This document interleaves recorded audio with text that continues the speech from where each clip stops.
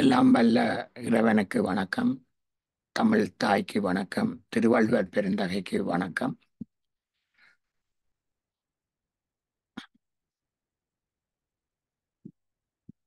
எழுத்தாளர் அரங்கம் நிகழ்வினை அமைதி வணக்கத்துடன் ஆரம்பிப்போம். ஈழப்போரில் உயிர் நீத்த போராளிகளின் ஆத்ம சாந்திக்காகவும் போரில் உயிர் நீத்த அப்பாவி பொதுமக்களின் ஆத்ம சாந்திக்காகவும் உலகெங்கும் வன்முறைகளாலும் இயற்கை அழிவுகளாலும் உயிரிழந்த மக்களின் ஆத்ம சாந்திக்காகவும் ஒரு நிமிடம் அக வணக்கம் செலுத்துவோம்.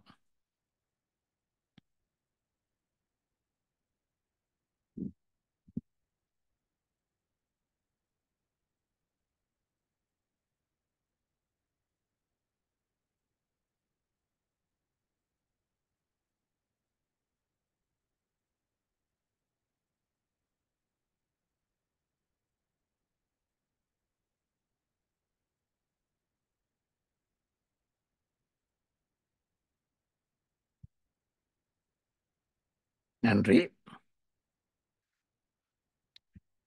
எழுத்தாளர் அரங்கம் இருபத்தி ரெண்டு நிகழ் நிகழ்விலே உரையாளராக பங்கேற்கும் எங்கள் அன்புக்கும் மதிப்புக்கும் உரிய நூலாசிரியர் படைப்பாளி காலம் செல்வம் செல்வம் அருள் ஆனந்தம் அவர்களை அன்போடு வரவேற்றுக் கொள்கின்றோம். இந்த எழுத்தாளர் அரங்க நிகழ்வில் கலந்து கொண்டிருக்கும் உங்கள் அனைவரையும் வரவேற்று மகிழ்கின்றோம். கனடா தமிழ் எழுத்தாளர் இணையம் முப்பது வருட கால வரலாற்றை கொண்டது. முப்பத்தோராவது வருடத்தில் நாங்கள் பவனி வந்து கொண்டிருக்கின்றோம். இந்த நேரத்தில் கனடா தமிழ் எழுத்தாளர் இணையத்தை நிறுவியவர்கள் அதை தொடர்ந்து அதனுடைய தலைவர்களாக செயலாளர்களாக பொருளாளர்களாக நிர்வாக சபை உறுப்பினர்களாக தொண்டர்களாக வழிநடத்தி வந்த அனைவருக்கும் இந்த நேரத்தில் பாராட்டையும் நன்றியையும் தெரிவித்துக் கொள்கின்றோம். அவர்கள் வந்த பாதையில் நாங்களும் தொடர்ந்து எம்மால் இயன்ற அளவு உறுதியுடன் செயற்பட்டு கொண்டு இருக்கின்றோம் கனடா தமிழ் எழுத்தாளர் இணையம் நடத்தும் எழுத்தாளர் ரங்கம் இருபத்தி ரெண்டில் உரியாளராக பங்கேற்கும் செல்வம் அருளானந்தம் அவர்கள் பற்றிய சுருக்கமான அறிமுக குறிப்போடு நாங்கள் நிகழ்வுக்கு செல்வோம்.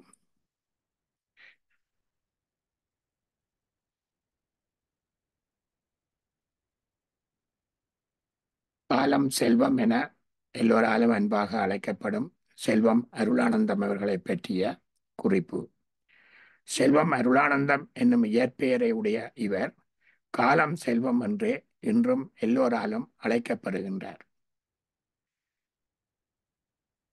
யாழ்ப்பாணம் சில்லாலையில் சவேரிமுத்து திரேசம்மா இணையருக்கு மகனாக பிறந்தார். இவர் தமது தொடக்க கல்வியை சில்லாலை ரோமன் கத்தோலிக்க பாடசாலையிலும் பின்பு புனித ஹென்றி கல்லூரியிலும் முடித்தார்.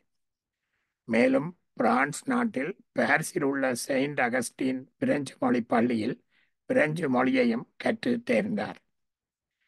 அதன் பின்பு கனடாவில் டொரண்டோவில் உள்ள செயின்ட் டேனியல் கல்லூரியில் நோயாளர் பெராமில் டிப்ளோமா பெற்றுள்ளார். இவர் ஆயிரத்தி தொள்ளாயிரத்தி எண்பத்தாறாம் ஆண்டு அக்டோபர் இருபத்தி ஒன்பதாம் நாள் தேவராணி என்பவரை மணந்தார். இவர்களுக்கு நிரூபன் என்ற மகனும் செந்தூரி கஸ்தூரி என இரண்டு மகள்களும் உள்ளனர். மருத்துவ உதவியாளராக பணிபுரிந்தார். இலங்கையிலிருந்து பாரிஸுக்கு புலம்பெயர்ந்த இவர் எட்டு ஆண்டுகளுக்கு பிற்பாடு அங்கிருந்து கனடாவுக்கு புலம்பெயர்ந்தார். முப்பத்தி ரெண்டு ஆண்டுகளாக கனடாவிலே உள்ள டொரண்டோ நகரில் தம் குடும்பத்தினருடன் வாழ்ந்து வருகின்றார். இவர் பல்வேறு இலக்கிய அமைப்புகளுக்கு அடித்தளமிட்டதோடு அவற்றின் வளர்ச்சிக்கு உறுதுணையாகவும் இருந்துள்ளார். பாரிஸிலிருந்து கனடாவுக்கு குடிபெயர்ந்த பொழுது அங்கு மொன்றியல் என்னும் நகரத்தில் வாழ்ந்தார். அங்கே தமிழ் ஒளி என்னும் அமைப்பில் வேலை செய்தார். அங்கிருந்து கால அந்த இருந்த காலத்தில் பார்வை என்னும் இலக்கிய இதழை ஆயிரத்தி தொள்ளாயிரத்தி எண்பத்தி ஏழாம் ஆண்டில் தொடங்கி சிறப்பாக நடத்தி வந்தார். அதில் பதினேழு இதழ்கள் வெளிவந்துள்ளன. அங்கிருந்து டொரண்டோ நகரத்துக்கு குடிபெயர்ந்த சூழலில் இவ்விதழ் ஆயிரத்தி தொள்ளாயிரத்தி எண்பத்தொன்பதில் நின்று போக வேண்டிய நிலைமை ஏற்பட்டது.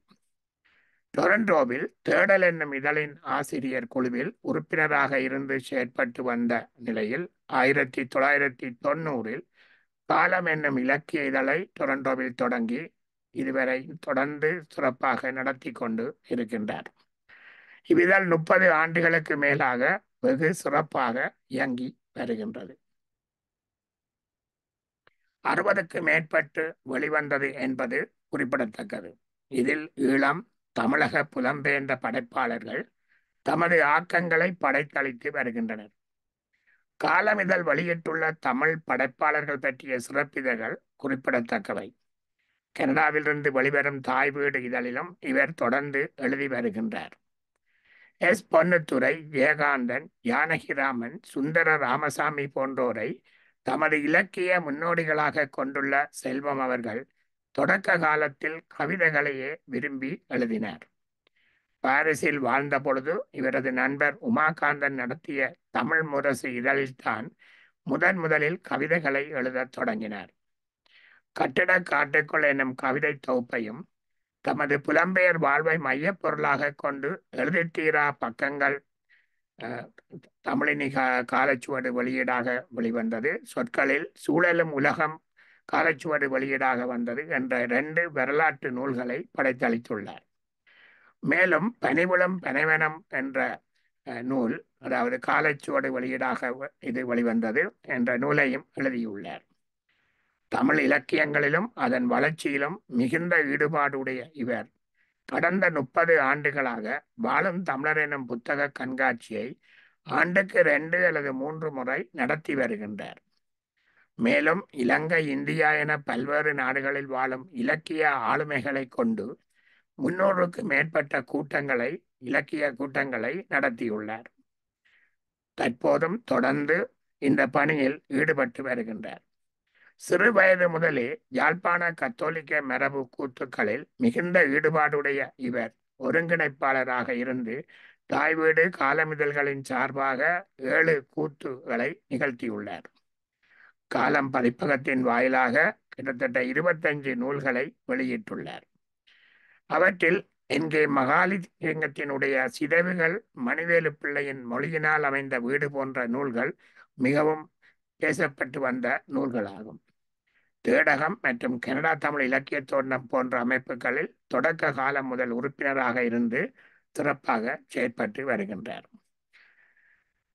இந்த அறிமுக குறிப்போடு எழுத்தாளர் அரங்கம் இருபத்தி ரெண்டினுடைய உரையாளர் செல்வம் அருளானந்தம் அவர்களை உரையாற்ற அன்போடு அழைக்கின்றோம். வாருங்கள் செல்வம் அருளானந்தம் அவர்களே நீங்கள் ஒரு மணி நேரம் ஒரு மணி பதினைந்து நிமிடம் வரை நீங்கள் உரையாற்றலாம். அதைத் தொடர்ந்து பார்வையாளர்கள் உங்களை வாழ்த்தியும் உங்களிடம் சில வினாக்களை கேட்கும் நேரம். அந்த நேரத்திலும் நீங்கள் ஏதாவது புதிய விடயங்களை கூற வேண்டியிருந்தால் அப்பொழுதும் நீங்கள் இடைய இடையிடையே குறிப்பிடலாம் என்று கூறிக்கொண்டு உங்களை அழைக்கிறோம். பேரன்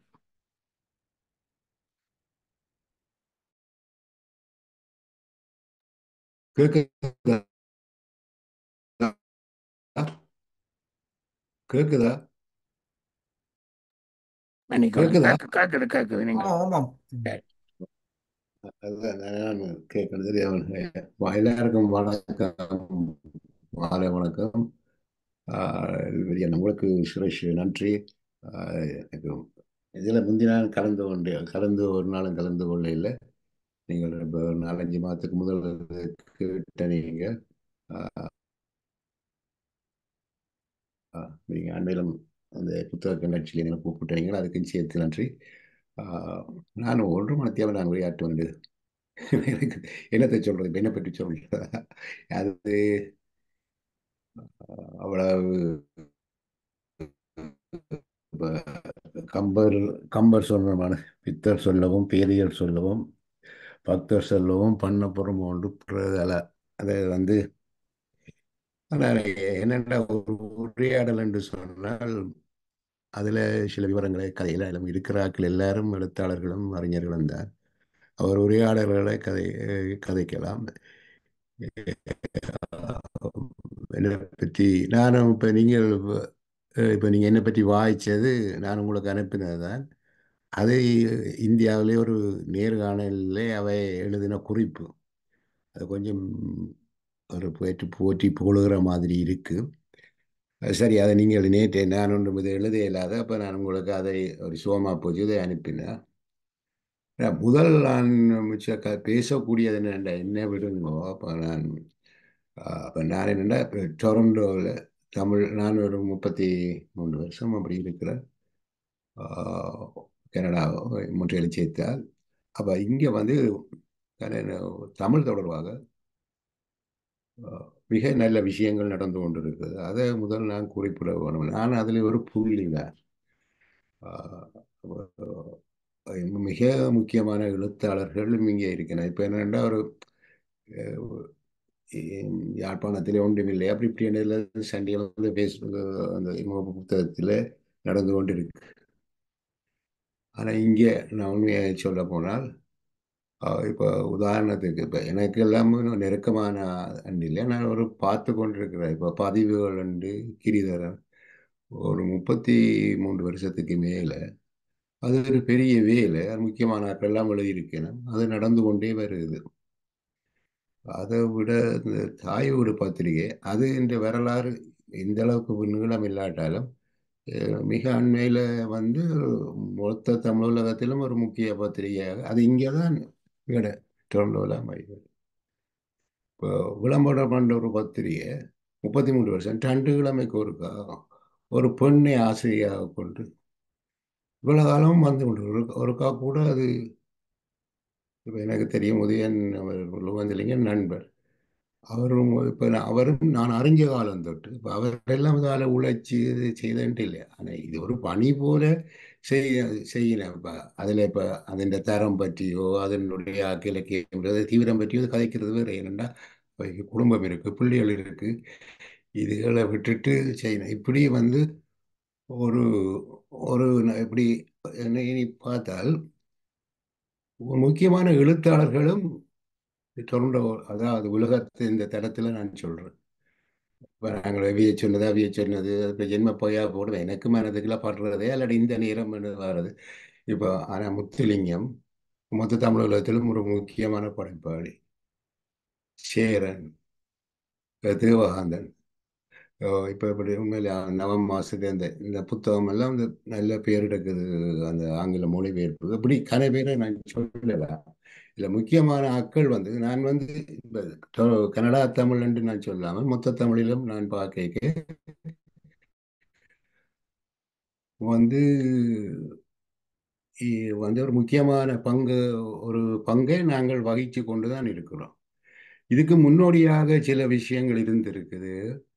இது இது சும்மா ஏன்னா நான் இந்த தொடக்க காலம் புலம்பெயர்ந்த காலம் என்று சொல்ற காலம் தொடர்த்து நான் வெளிநாட்டிலாம் இருக்கிறேன் நாங்கள் பரிசுக்கு வரைக்கும் அந்த புலம்பெயர்ந்த சொல்லியே இல்லை.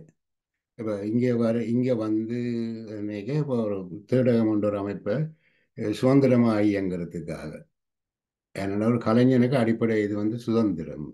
ஒரு கலைஞனுக்கு எழுத்தாளனுக்கு அவனை கட்டுப்படுத்தாத ஒரு சுதந்திரம் வேணும். அவன் அந்த சுதந்திரமான அமைப்பை தொடங்கினது அது தொடர்பாக தாயகம் ஒரு பத்திரிகை. அது வந்து மிக புதுமையாக இருந்தது அந்த நேரத்தில். அது வந்து ஒரு தொழில்நுட்ப ரீதியாகவும் அக்க இலக்கிய ரீதியாகவும் தாயம் ஒரு பத்திரிகை தொடங்கினது. இப்போ இது எங்களுக்கு ஒரு பெரிய பாரம்பரியமாக வந்து கொண்டிருக்கு.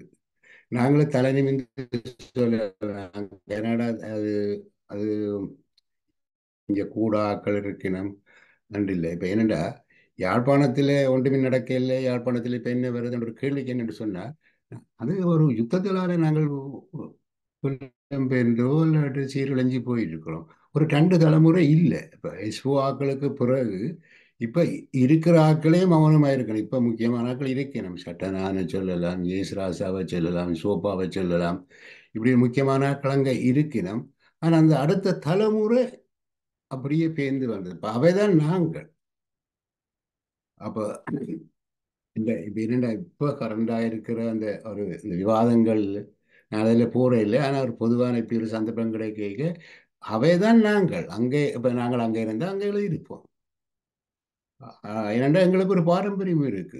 கைலாசி சிவத்தம்பி தலையசிங்கம் எஸ் போன்ற எங்களுக்கு ஒரு பெரிய பாரம்பரியம். அதாவது நான் சொல்கிறேன்னு சொன்னால் நான் குறுகித்தனமா சொல்றேன் இல்லை. நான் சொல்றது மொத்த தமிழையும் பார்த்து தான் சொல்லுவேன். இன்றைக்கு நீங்கள் நான் ஒவ்வொரு வருஷமும் அதிகமாக த புத்தக கண்காட்சிக்கு போவேன். அது பெருமையாக இருக்கும். நீங்கள் வந்து சோபசக்தின்ற புத்தகம் பெரிய விற்பனையான புத்தகமாக இருக்கும் அங்கே.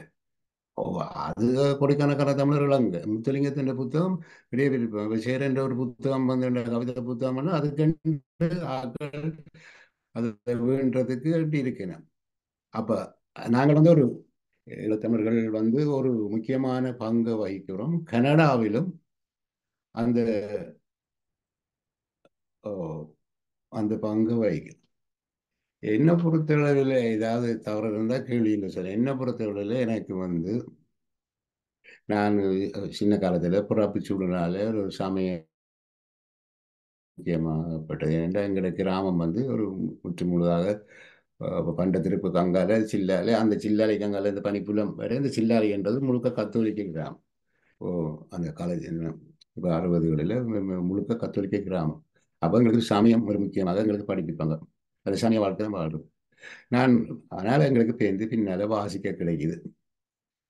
அப்போ அப்படி வாசிப்பு இலக்கிய தொடர்புகள் வரைக்க பரிசுக்கு வந்த பிறகு நான் வந்து ஒரு இடதுசாரி அமைப்போடு சேர்ந்து அங்கே பரிசில் வேலை செய்தேன் நான் அதால் சில வெளிச்சங்கள். அது இடதுசாரி அமைப்பினுடைய பெரிய கட்டித்தனம் என்றால் அவங்க அவங்கள்ட்ட ஒரு கல்வி இருக்கும். அந்த கல்வி விஷயங்களை விளங்கி கொள்றதுக்கும் விஷயங்களுக்கு எப்படி தீர்வு காண்றதுன்றதுக்கும் அது அது போராடுதே இல்லையோ அதில் விளக்கமாக நான் கொலைக்கிய தமிழ்லாம் சொல்கிறேன் அது விளக்கம் உங்களை விளங்கப்படுது விஷயத்தம்பி சொன்னாக்க ஒரு சிக்கல் என்றதுன்னா ஒரு சாதி என்று சொன்னால் ஏன் இந்த சாதி தோன்றது? என்னென்று வாழுது? இது எப்படி வெளியில அந்த மூண்டே நாங்கள் யோசிக்கணும். அப்படி அவங்க அந்த மா அதுக்கு பிறகு எனக்கு அதிலும் மன வருத்தங்கள் வரும். என்ன? ஆனால் எனக்கு பேருந்து இலக்கியம் தான். இந்த வாழ்வை உயிர்க்கிறேன். இந்த தனிப்பட்ட இது மற்றவைக்கு அந்த கருத்துக்கள் இருக்க அதுவும் குறிப்பாக நான் வந்து ஒரு கவிஞன். அது எனக்கு பேருந்து நல்ல கவிதை தெரிய எனக்கு அது சரி இல்லைன்னா அது இப்போ எழுதுறே இல்லை. அவள் கவிதை வந்து ஒரு மொழியினுடைய ஆக உச்சம் அது. வேறு தமிழர்கள் என்ற பொறுத்தளவில் எனக்கு வேறு பாசைகள் பெருசாக தெரியாதபடியா தமிழர்கள் பொறுத்த பொறுத்த வரையில் கவிதை தான். என்ன தமிழ் இலக்கிய தமிழ்கிட்ட வரலாறு ஒரு அது ஒரு உங்களோட ஒரு சான்றுகள் இல்லை என்ன? பத்தாம் நூற்றாண்டு வரை இப்போ சான்றுகளே இல்லை. சும்மா நீங்கள் எழுந்தோன்னாங்க நீங்கள் ப்ரூஃப் கேட்டால் சொல்லல அது எங்கிட்ட இருக்கிறது வந்து இலக்கிய வரலாறு. அந்த இலக்கிய வரலாறும் கவிதை வரலாறாக தான் இருக்கு.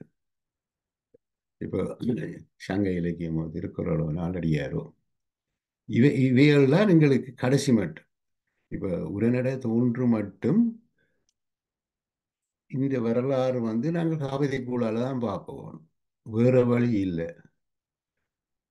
உரநட வந்த பிறகும் உரநட வந்த பிறகும் இன்றைக்கும் கவிதை இதான் எங்களுக்கு ஒரு முக்கியமாக அது என்னென்னா அது மொழின்ற ஆக உச்சத்தை தான் கவிதை வந்து. ஆனால் அது கவிதை வந்து மொழிக்கும் மொழிக்கும் வந்து துரோகம் செய்யும். ஏனென்றால் அது கவிதை வந்து மொழியை ஒரு ரன்வேயாக பாவிக்கும். அது மேலே கவிதையை வரைக்க அது மொழியை விட்டுட்டு போடும். இப்போ நான் உதாரணம் விளங்குறப்படுத்துறதுக்கு இப்போ பெரிய அறிஞன் இல்லை. நல்ல கவிதை வாசிப்பேன். போன கிழமை இந்த சேரண்ட கூட்டத்தில் தலைமை வச்சபடியால் அந்த அந்த கவிதை இதுதான் எனக்கு ஓடிக்கொண்டிருக்கு. இன்றைக்கு நீங்கள் ஒரு எங்கட போராட்டம் இந்த முப்பத்தஞ்சு வருஷம் போராட்டத்தில் அரசியல் ரீதியான வரலாற்று புத்தகங்கள் வந்திருக்கு. எத்தனை பேர் எழுதியிருக்கிறேன் ஒன்றே ஒன்றதுன்னு நம்ப மாட்டேன். நீங்கள் சேரன் ஜெயவாளன் இளவல விஜயந்திரன் இவங்கிட்ட க கவிதைகளை இந்த முப்பது வருஷம் இவங்கிட்ட கவிதைகளை எழுதி வாய்ச்சிங்கன்னா உங்களுக்கு வரலாற்றை என்ன நடந்தது? எங்களோட கண்ணீரை எங்களோட துயரத்தை எங்களோட வெற்றிகளை அந்த கண் கவிதைகளோட நான் அதைத்தான் நம்புவேன். அதைத்தான் உண்மையாக நம்ப ஏன்னா கவிஞன் வந்து அவன் அவன் ஒரு சரி ஒரு சரியில்லாத ஆளாக இருக்கலாம். இப்போ பிரமலை பார்த்தா சொல்லுவாங்க அவர் எல்லாம் சண்டைக்காரன் ஆனால் அவன் எழுதின கவிதை பிரமலின்ற கவிதை இன்று வரை வந்து எங்களுக்கு அவனுடைய ஆத்மாவால் பேசுறது அது. அதுக்கு பிறகு அவங்க எழுதி முடியாத வேறு யாக்கெல்லாம் மாறிடுவாங்க. இப்போ ஜெயபாலன் சொல்லுவான் இந்த அப்போ ஒரு சண்டை நட அவன் இந்த வீரத்தை பற்றி சொல்லு. இந்து கடலறையும் இருகரையும் மணலறையும் அண்டு அந்த அப்போ அந்த அவன் பார்த்து இதுக்கெல்லாம் போய் அவன் வெளியில போய் வேறு கதைப்பான் ஆனா அந்த நேரத்துல வந்து அப்படி சொல்லுவான். இப்போ சேரன் ஒரு ஒரு போராளியோ ஒரு நண்பரோ அரசுதன் நெற்கெதிரை எதிரே நீள் விசும்பே நெஞ்சிரங்கா சூரியனே. அந்த அப்போ அப்போ எங்க அப்போ அந்த இடத்துல நான் இன்னொரு எந்த நண்பனை போட்டு பார்த்தால் இந்த மனம் எல்லாம் ஒரு ஒரு அந்தரமாயிருக்கு அப்போ இதால எனக்கு வந்து இலக்கியம்தான் இந்த வாழ்வுக்கு எனக்கு சரியான ஒரு விஷயம். இந்த இலக்கியத்துக்கால தான் ஏதாவது செய்யலாம். அது உடனடியாக விளைவு இலக்கியம் விடுதலையை கொடுக்குமா இல்லைன்னு இலக்கியம் வறுமையை போக்குமா இல்லையே? ஆனால் இந்த இது வந்து உங்களுடைய சமூக மாற்றத்துக்கும் உங்களுடைய ஆன்மீக மாற்றத்துக்கும் இலக்கியம் ஒரு உந்து சக்தியாக இருக்கு. இப்போ துப்புரவாக ஒன்றும் செய்யலாதென்று அது செய்யாதென்று சொல்கிறதுக்கு இல்லை. இவ இப்போ அந்த காலத்தில் காசி ஆனந்தன்ற பாடல்கள் அது இன்றைக்கு எங்களுக்கு பிடிக்கலாம் பிடிக்கலாம் இருக்கு நம்பங்கள் தமிழுடன் நாளே கிடைக்கும்ன்றது உண்மையாக சொல்ல போனால் அந்த நேரத்தில் அது பாட்டை மேடையில் கேட்க எங்களோட நெஞ்செல்லாம் பிம்பும் நிச்சயமாக எங்களுக்கு ஒரு நாடு கிடைக்குமென்ற அந்த உணர்வு அது இருக்கு. அப்போ அப்படி வந்து ஒன்றும் செய்யாதண்டு இல்லை. ஆனால் யாரும் கேள்வி கேட்டால் இந்த சிறுகதையாலே இந்த சமூகத்துக்கு பிரியோசனம் என்று சொன்னால் அதை எனக்கு சொல்ல தெரியாது. சில சில சான்றுகள் இருக்கு. இப்போ இப்போ நீங்கள் பட்டுக்கோட்டைன்ற கவிதை என்ன சொல்கிறீங்களோ தெரியாது. எனக்கு அவர் ஒரு நல்ல கவிஞன் இருக்கான். இப்போ சினிமா பாட்டு தான் எங்களுக்கு கிடைக்குது. அப்போ அது ஒரு சா ஒரு ஒரு சாட்சி என்னன்னு சொன்னால் எம்ஜிஆர் முதல் தடவை பதவி ஏற்கைக்கு அவர் சொல்லுவார் இந்த எனக்கு இந்த கிடைச்ச இந்த முதலமைச்சர் நாற்காலி இந்த மூன்று கால் என்னென்று தெரியாது. ஆனால் ஒரு கால் பட்டுக்கோட்டை என்ற கவிதைகள் உண்டு.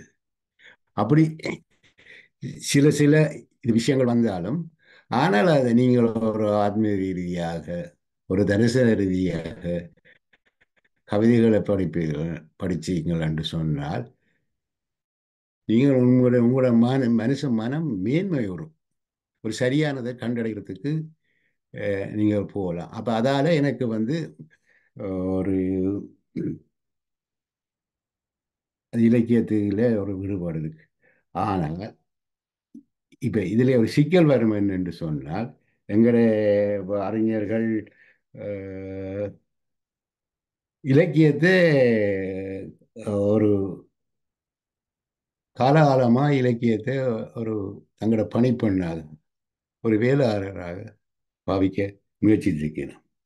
உதாரணத்துக்கு எங்களோட மதங்கள் என்ற நான் மற்ற என்ற மதத்தை போ என்ற மதத்தில் நாங்கள் சின்ன காலத்தில் இருக்க ஒரு நல்ல தென்மொழி பூத்து அதுக்கு பார்த்து தான் வளர்ந்தாங்க பூத்து போட்டால் அது நல்லா இருக்கும். பாட்டுகள் நல்லா இருக்கும். தாளம் நல்லா இருக்கும். ஆட்டம் நல்லா இருக்கும். அது சரி. ஆனால் அது ஒரு மதத்துக்கு பாவிக்கிறத தான் இருக்கும் இந்த சங்கலியின் கூத்து பண்டாரமணியின் கூத்துகள் எல்லாம் பின்னுக்கு தான் வந்தது. அந்த காலத்தில் அந்த கூத்து வந்து ஒரு புனிதற்ற கதையை சொல்கிறாயோ ஒரு சமய மாற்றத்துக்கு உதவி செய்யறதுக்காண்டி தான் அந்த கூத்து பாவிக்கப்பட்டது. அப்ப பிறகு நாங்கள் பிரிந்து வரைக்க தம்பியோடும் சண்டை பிடிச்சதான் நாங்கள் இலக்கியத்தை சமூக மாற்றத்துக்கான ஒரு கருவியாக தான் பார்க்கணும் பிறகு இயக்கங்கள் தோன்றிக்க ஆயுத போராட்டம் தோன்றிக்க அதை பாவிக்கணும். ஆனால் உண்மையில ஒரு இலக்கியத்தின் வேலை அதுவா?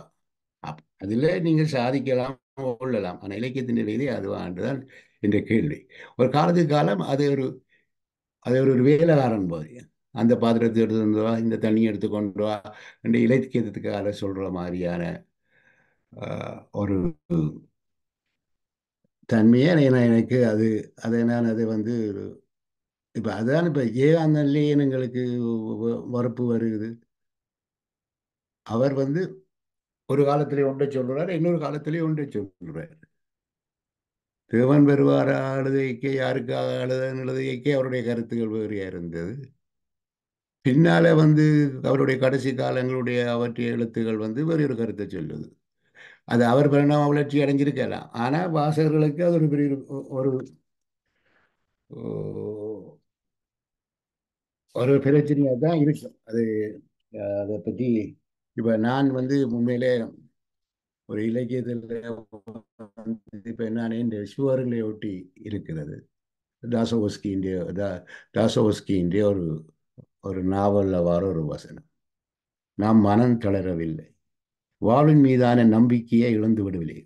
எங்கேயும் வாழ்க்கை வாழ்க்கையாத்தான் என்னை சுற்றிலும் மனிதர்கள் இருக்கிறார்கள். மனிதர்கள் மத்தியில் ஒரு மனிதனாக இருப்பதும் எவ்வளவு துயரங்கள் ஏற்பட்டாலும் எப்போதும் மனித மனிதத்தன்மையோடு இருப்பதும் வீழ்ந்து விடாமல் தைரியத்தை தக்க வைத்துக் கொள்வதும் தான் வாழ்க்கை.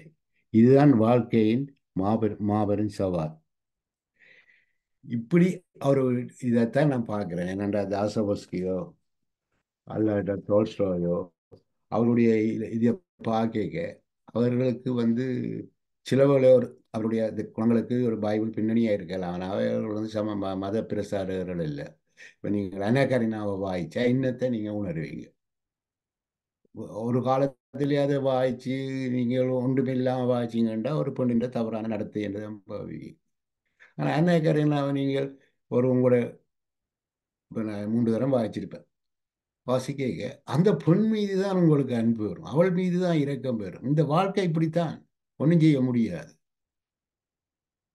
அவள் தற்கொலை செய்ய உங்களுக்கு அழுக தான் வரும் அவள் குடும்ப சிக்கலால் தவறாக நடந்த என்று சொல்லி புருஷால் கிடைக்கப்பட்டு அப்படித்தான் நீங்கள் அசடனை வாய்ச்சாலும் அப்படித்தான். இப்போ இப்போ நீங்கள் போ டோஸ்டோன்ட்டு போருங்காதலை நீங்கள் வாய்ச்சிங்கன்னு சொன்னால் இந்த பிஆர்ன்ற ஒரு தான் பெறுவேன் ஆண்ட்ரோன்ற ஒரு தான் பெறுவேன் ரெண்டு பேரும் ரெண்டு வெவ்வேறு பாத்திரங்கள். இந்த நாவல் முழுக்க ரெண்டு பேரும் வந்து கொண்டே இருப்பேன் அந்த ரஷ்யா வரலாறு வரும். ரஷ்யாவினுடைய ஆன்மா வரும். ரஷ்யா என்ன செய்தது வரும். இந்த ஆண்ட்ரோன்றவர் ஒரு இளவரசன். அவனும் செல்வ செழிப்பாக வாழ்ந்தவன். நெப்போலியன் போரில் அவன் ஈடுபடுறவன் கட்டாயம் அங்கே போருக்கு போகணும். அந்த அவன் அந்த அந்த போருக்கு போய் அவனும் குதிரையால் விழுகிறான். அப்போதான் முதல் தடவை அவன் நிலத்தில் விழுந்து நிமிந்து வானத்தை அப்போதான் வாழ்க்கையில் அவன் வானத்தை பார்க்குறான். இவனை விட்டுட்டு விடுவாங்க இவன் காயம்பட்டு கிடப்பான். வானத்தை பார்க்க தான் அவன் வாழ்க்கையை பற்றி யோசிக்கிறேன் இவ்வளோ காலத்தில் ஒரு நாள் நான் வானத்தை நிமிந்து பார்க்கல. இந்த இப்படியான விஷயங்கள் வந்து மனித மனத்தை மேம்படுத்தும் செழுமைப்படுத்தும். இப்படியான விஷயங்களை வந்து எங்களோட ஊரிலும் எங்களுடைய எழுத்தாளர்கள் இப்போ என்ன தெரியாது. இப்போ எங்களுடைய எழுத்தாளர்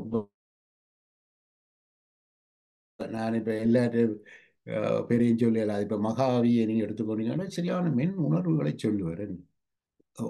அவர் வந்து இப்போ இப்போ இப்போ சேரனுக்கு ஜெயபாலனாக்களுக்கு போர் வந்துட்டது அது பெரிய உங்களுக்கு பெரிய அது மூலம். அதுலேருந்து கன விஷயங்களை துயரையும் போரையும் வீரத்தையும் பாடலாம் மகாவியாக்கள் வந்த காலத்தில் பெரிய ஆக பெரிய பிரச்சனை சாதி பிரச்சனை. ஆனால் அவர் இப்போ அந்த சாதி பிரச்சனையும் பற்றி உணர்வு இவர் மற்றவர்களுக்காகப்பட்டது என்ற ஒரு கவிதை இருக்கு அது ஒன்றும் இல்லை ஒரு வாசுக்குள்ள ஒரு பெண்ணுக்கு இவரும் கொடுத்துட்டு பணத்தில அவர் நினைக்கிறார் இன்னொரு பெண்ணுக்காக நான் துன்பப்படுறேன் இது ஒரு நான் நான் சொல்றதை கொண்டு உங்களுக்கு அந்த கவிதையை வாசிக்க அற்புதமாக நீங்க உணர்வீங்க. அல்லாட்ட அந்த சீமந்துக்கும் பிளாட்ஃபார்முக்கும் இடையில இப்போ நடந்து வரைக்கும் அந்த ஒரு புல் ஒன்று முளைச்சு கொண்டு வருது. அந்த கல்லுக்கு நெறிபட்டு. கல்லடுக்கி கல்லடுக்கி கனத்த உருளைகளை செல்ல விட்ட நெடும் பாதை. அதனாலே ஒரு அப்போ அவரை அதை கண்டு உடனே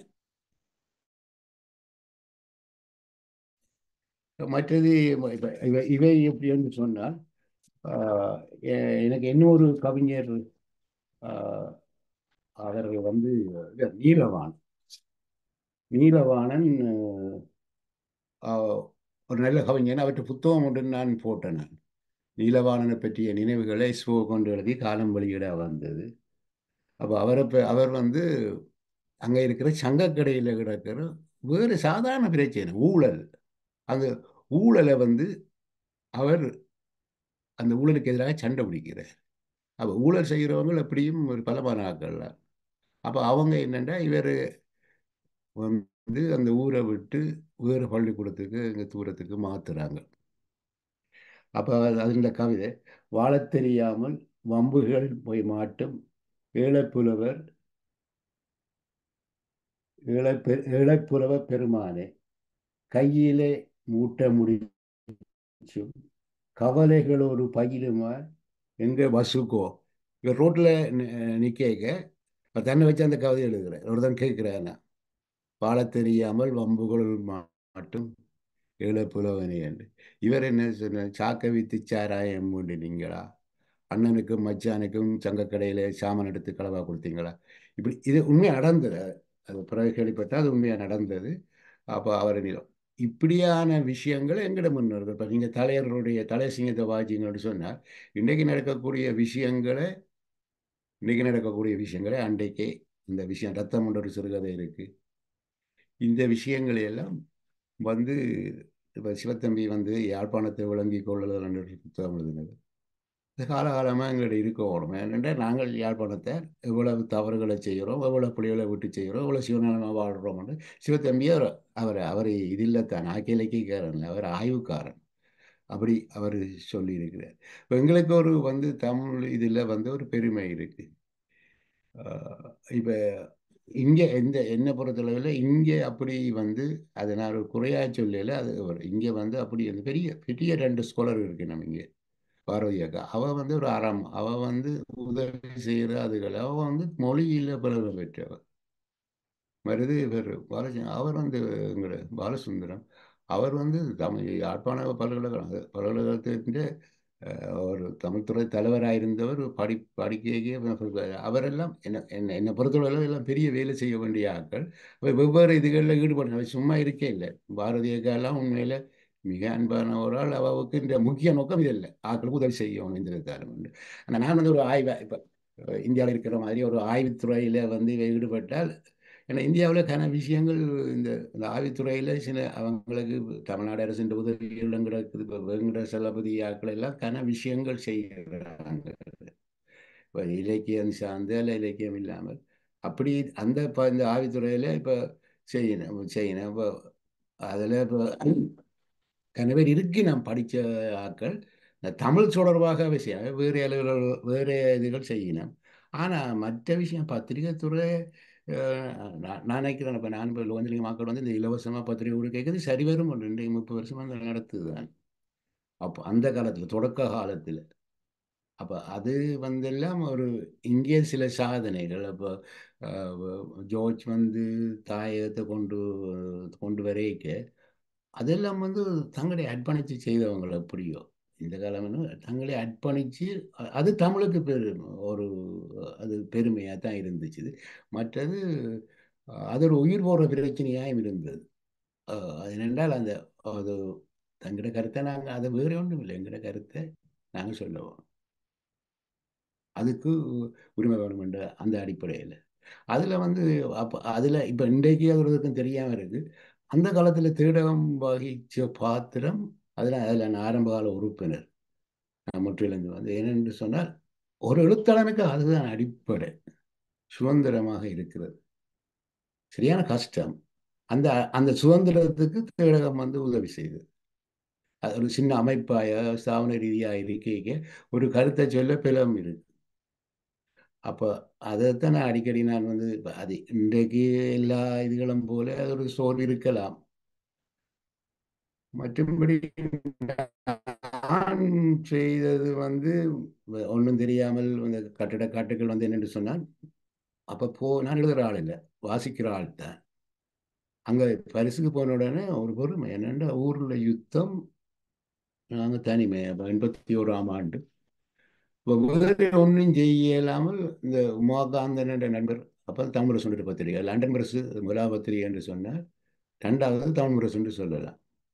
உலகத்தில் வெளியே ஈழத்தமிழர் அளவில் அப்போ அதில் வந்து ஏதாவது எழுதுங்கள்னு தானே தொடர்ந்து கவிதை எழுதுனேன் அப்போ சவாலிங்கம் ஒரு நண்பர் அதுகளோட தொடர்பாக இருந்தவர் அவருக்கு அது நல்லா பிடிக்கும். அவர் அது அவர் அதை பிந்து பின்னால் நான் இங்கே வந்தவர் அவர் அதை புத்தகமாக போட்டவர் உமாகாந்தன் அந்த கவிதைகளை வேண்டி.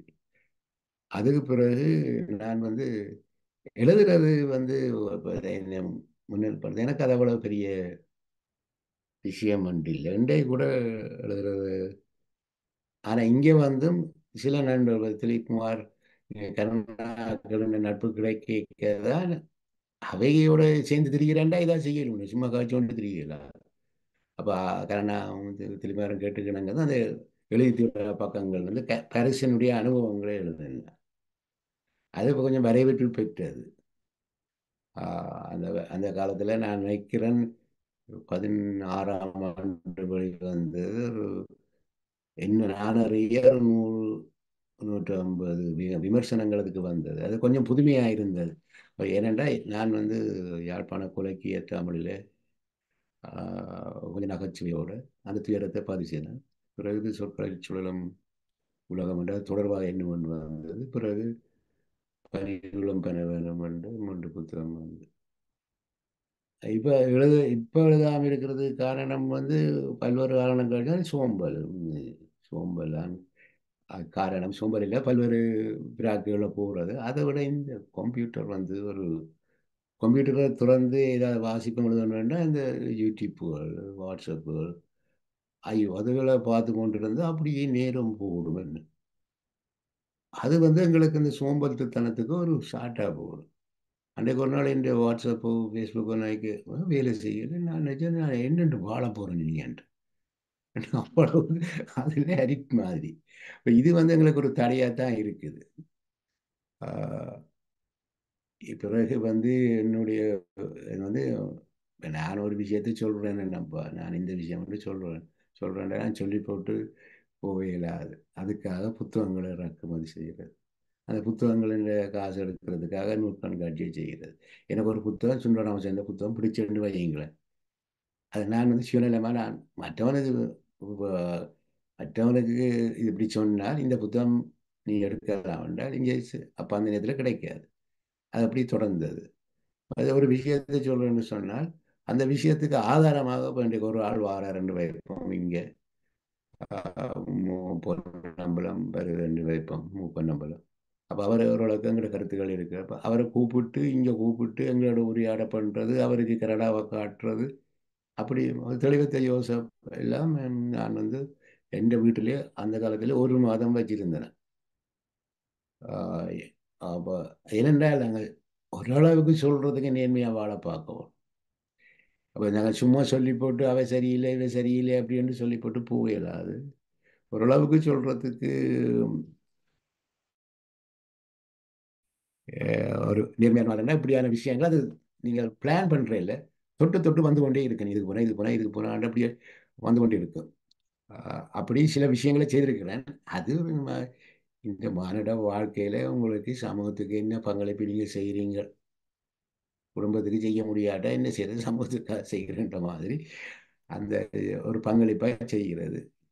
நான் சிலதுகளை நான் நீங்கள் யாரும் கதைச்சல கதைக்கலாம் அது வேறு இதில் பெரிய பெரிய நான் ஒரு நான் சொன்னேன் அந்த கம்பன் சொன்ன வசனத்தை தான் சொல்கிறது பக்தர் சொல்லவும் பித்தன் சொல்லவும் பண்ணப்புறமோ உண்டு. வேறு யாரும் நீங்கள் கதைச்சிங்கன்னு சொன்னால் ஒருத்தர் வந்து கதைக்கலாம்.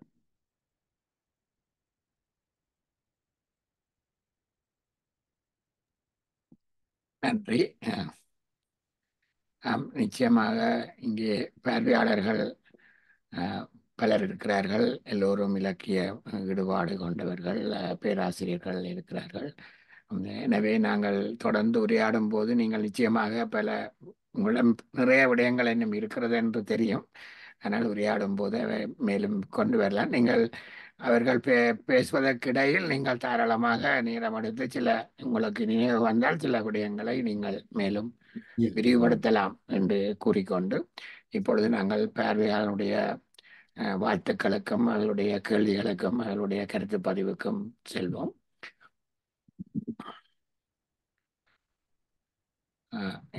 இதுவரை யாரும் கையெழுத்தவில்லை அதுக்கிடையில் நான் சொக்கலோ சண்முகம் ஐயாவை அழைக்கிறேன். அவர் ஏற்கனவே அழைத்து கூறியிருந்தார். ஆயத்தமாக வந்திருப்பதாக.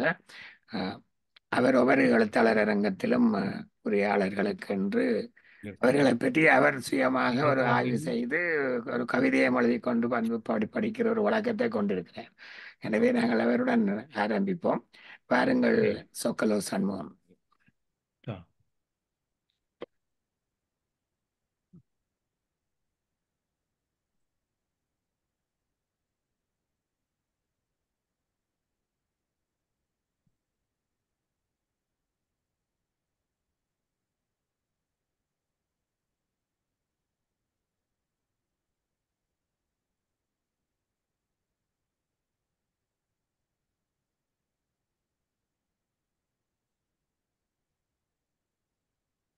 லோக்கல்ல படிக்கிறாரோ? என்ன மாதிரி அவர்கிட்ட. ஓகே லோக்கல்ல தான் அவரே துவக்கங்க ஐயா நீங்கள் துவக்குவீங்க உரையாடல். ஐயா ஐயா இதன்றா எடுங்க முதல்ல. இல்ல இல்ல இல்ல நீங்க நீங்க நீங்க சொல்லுங்க. நீங்களே வாழ்த்தி துவங்குங்க நானும் காலை பேசுவோம்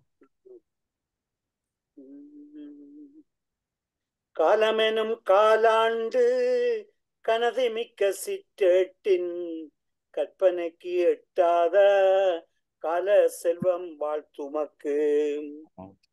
ஞால புகழ் நலமிக்க பேச்சாளன் விகடகவி நாடகமும் நற்கூத்தும் நலங்காக்கும் வித்தகனாம். உலமெல்லாம் இன்று காட்டி கொண்டாட செய்தவன் பால் கோபமேதும் தொற்றாத கொள்கையாளன் குணக்குன்றாம். காலமெல்லாம் எழுத்துடனும் கண்காட்சி நூல்களுடன் கால செல்வம் ஓய்ந்திடாமல் கலை வளர்க்கும் கலை செல்வன். அருளுண்டு ஆனந்தம் உண்டாமேயும் பேச்சில் அனைவரையும் ஓர் நிறையில் ஆதரிக்கும் அன்புடையான். பொருளுக்காய் இயங்குகின்ற போதை இல்லையும் இடத்தில் பொங்கலையும் கொண்டாடும் பொன்மகனாம் சவதி முத்தின் பெருவிருந்து நூலாகும் திருவிவிலி மொழிபெயர்ப்பு. பெருமை பெற வைத்தவன் நீ பெற்றவனை திரேசம்மா அருமமிகு பெருமகளை அளித்தாய் நீ அனைவர்க்கும். அன்புனது மதமாகும் அருளுடைய செல்வம் நீ. பனிவெளுமாம் பனவளமுன் பரிஸ் நாட்டின் அனுபவங்கள் படித்தவர்கள் மீண்டும் அதை படிக்கிறார்கள் தேடுகிறார். கனிதோர்க்கும் பேச்சு நடை கற்கண்டு பாகாகும். கதை கூட கிராமத்தில் கதைக்கின்ற அழகு மொழி. தனியொருவன் நீ செய்யும் தளராத சாதனைகள் தாய் தந்தை செய்த தவம் தந்ததுவே செல்வமெல்லாம். இனியதாமும் இலக்கியத்தார் இன்பமுறும் சந்திப்பு எல்லோரும் புகழ் பெறவே இலக்கியத்தால் இணைக்கின்றேன். தாய் வீட்டில் நீரெழுதும் தகவல்கள் படிக்கின்றோம். தமிழ் வாழ நூல் சந்தை தனியிடத்தை தந்ததுவே. சேகழுந்தான் உந்தனுக்கு செய்தொழிலில் பேருதவி. செய்தவன்தான் வேறில்லை செவித்தேன் உன் பெருமை. தோய்கின்றாய் தமிழ் கடலில் தொன்று தொட்டு இன்று வரை. தோற்றிடாது தொடர்கின்றாய் தொடனே நீ வல்லவன்தான் காய்க்கின்ற மரமானாய் கால செல்வம் கனடாவில் கட்டிட காடு கவிநூலை பெற்றோனே பெரும்புலவாம். இளவாலை பண்டை தெரு ஏறுங்கள் சில்லாலை இவையெல்லாம் நான் கேட்ட எதுகமோனை பஸ்தரிப்பில். தளபதியுன் தாய் வீடு சின்ன ரோமாம் சில்லாலை தான் தோன்றி கவிராயர் தானு முந்தன் நூறாமே. களமாடும் செல்வன் நீ. காலமுனது உயிர் மூச்சு. கவிகளிடம் உன்பற்று கண்டு நானும் வியந்ததுண்டு. வளமான இந்நாட்டில் வகிக்கின்ற பெரும் பொறுப்பு வல்லோனே உன் பெருமை வானுலகை எட்டிடுமே சொற்களில் சுழலும் சுயசரிதை சொல்லிடுமே. சோர்விலாது வாசித்தேன் சுயமான தமிழ் நடையாம். தற்பெருமை சிறிதுமில்லா தனையனை தேவராணி தாயாகி தவமாகி தந்த செல்வம் பெரிதாமே. கற்றவனே விலையில்லாத காலத்தை தந்தவனே காத்தவராயன் கூத்து கச்சிதமாய் நெறி செய்தாய் பெற்ற உந்தன் பெருமைகள் பெரிதாக பேசவில்லை. பெற்ற உண்பன் பெருமைகள் பெரிதாக பேசவில்லை. பெருமைக்கு உரியவரே பெரிதான வாழ்த்துமக்கு. பெருமைக்கு உரியவரே பெரிதான வாழ்த்துமக்கு. பெரிதான வாழ்த்துமக்கு. ஆறு எண் சீரடி குரல் வெண் செந்துரை நாற்பத்தெட்டு அடிகள். மகுடம் காலம் செல்வம். எழுதி வாசித்த வாழ்த்துப்பாவில் நீண்டது. இன்னும் பெருமை சொல்லி முடியவில்லை. ஆஹ், பொறுமையாக கேட்ட உங்கள் அனைவருக்கும் வாழ்த்தும் வணக்கமும் நன்றியும்.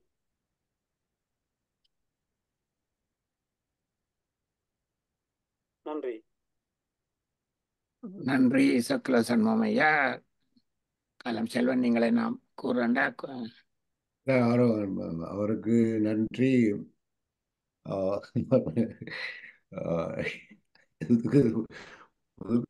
தகுதியும் இல்லை. அவர் அன்பான மனுஷன் அவருடைய புத்தகம் என்னட்டு அஞ்சிருந்து பத்தனாயிரம் கொடுத்து விட்டனா. அவர் இன்றைய கவிதை பாடுறார்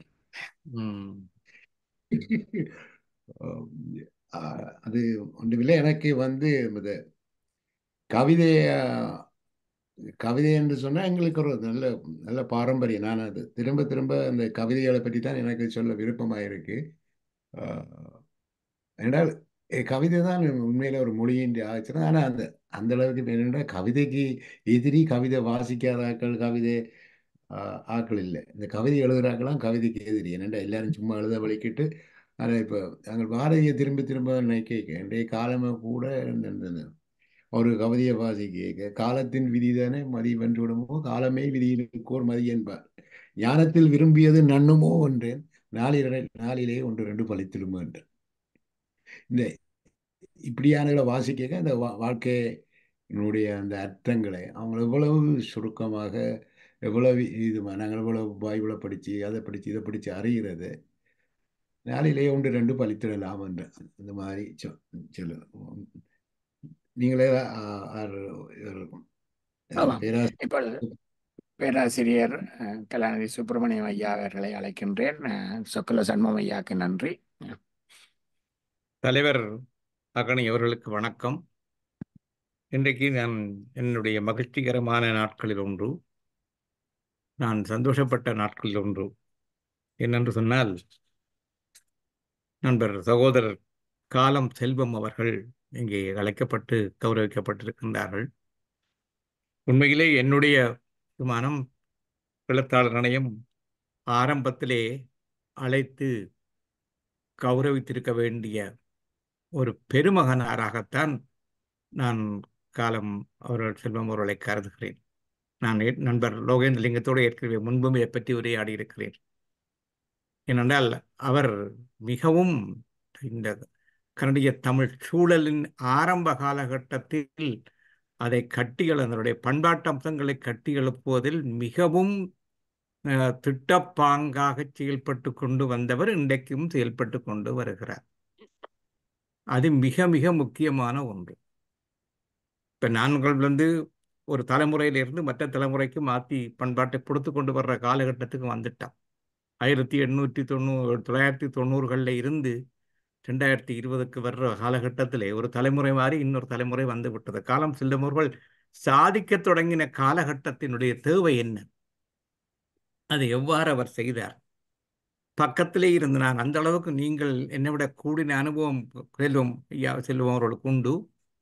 ஆனால் நான் ரெண்டாயிரம் ஆண்டுக்கு பிறகுதான் இந்த மண்ணுக்கு தொடர்பு கொண்டேன். வந்த முதல் அவரை சந்திக்கக்கூடிய வாய்ப்பு எனக்கு கிடைத்தது. என்னை என்னை விட பத்து ஆண்டுகளுக்கு மேற்பட்ட அனுபவம் கொண்டவர் அவர். என்ன மாதிரி அவர் அந்த இலக்கிய சூழலை கட்டியமைப்பதற்கு முயற்சித்தார் என்பதை ஓரளவு நான் அருகிலே இருந்து பார்த்திருக்கிறேன். ஆக நெருக்கமாக இல்லாவிட்டாலும்.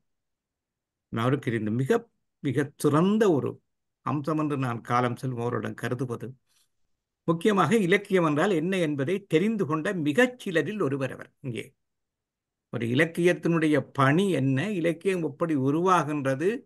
அது சிறுகதையோ நாவலோ இல்லை கவிதையோ எப்படி உருவாகின்றது அதனுடைய சமூக பங்களிப்பு என்ன என்பதை திட்டத்தெளிவாக தெரிந்து கொண்டு வருகின்ற அதற்கு காரணம் அவர் தமிழக இலக்கிய உலகத்தோடு கொண்டிருக்கின்ற மிக நெருக்கமான தொடர்பு தமிழகத்திலே இன்றைக்கு சோமங்களா காலகட்டத்துக்கு பிறகு ஜெயமோகன் காலகட்டத்திலே தமிழகத்திலே எப்படி இலக்கியம் நடமாடிக்கொண்டிருக்கிறது கொண்டிருக்கிறது. தரமான இலக்கியம் பற்றிய கருத்து எவ்வாறு உருவாகி வளர்ந்து வருகிறது என்ற கருத்தை அருகிலேயே இருந்து பார்த்து அங்கேயே போய் நின்று அந்த மண்ணினுடைய இலக்கிய சூழலோடு தன்னை நெருக்கமாக பிணைத்துக் கொண்டு பார்த்து அவற்றையெல்லாம் எங்களுக்கு கொண்டு வந்து எங்களுக்கு தருகின்ற செயல்பாட்டை இவர் செய்து வந்திருக்கிறார். அந்த செயல்பாட்டை எங்களுக்கு செய்து வந்திருக்கிற மிக்குமாரின் ஒருத்தர் இங்கே அவன் வந்திருப்பார் நினைக்கிறேன் தேவகாந்தன் அவர்கள். தமிழக இலக்கியத்தின் நாடித்துடிப்பை படித்து பார்த்து அப்படியே அதை அனைத்துலக மட்டத்திலே எந்த தரத்திலே பேணலாம் என்பதை செயற்படுத்தினார். அதற்கு சிறந்த உதாரணமாக திகழ்வதுதான் இன்றைக்கு என்னுடைய பார்வையிலே வந்தது. அவர் முந்தி நடத்தின பத்திரிகைகள் எனக்கு பார்வைக்கு வரவில்லை. இந்த காலம் இதழ் ஒரு மிக முக்கியமான இதழாக நான் கருதுகிறேன்.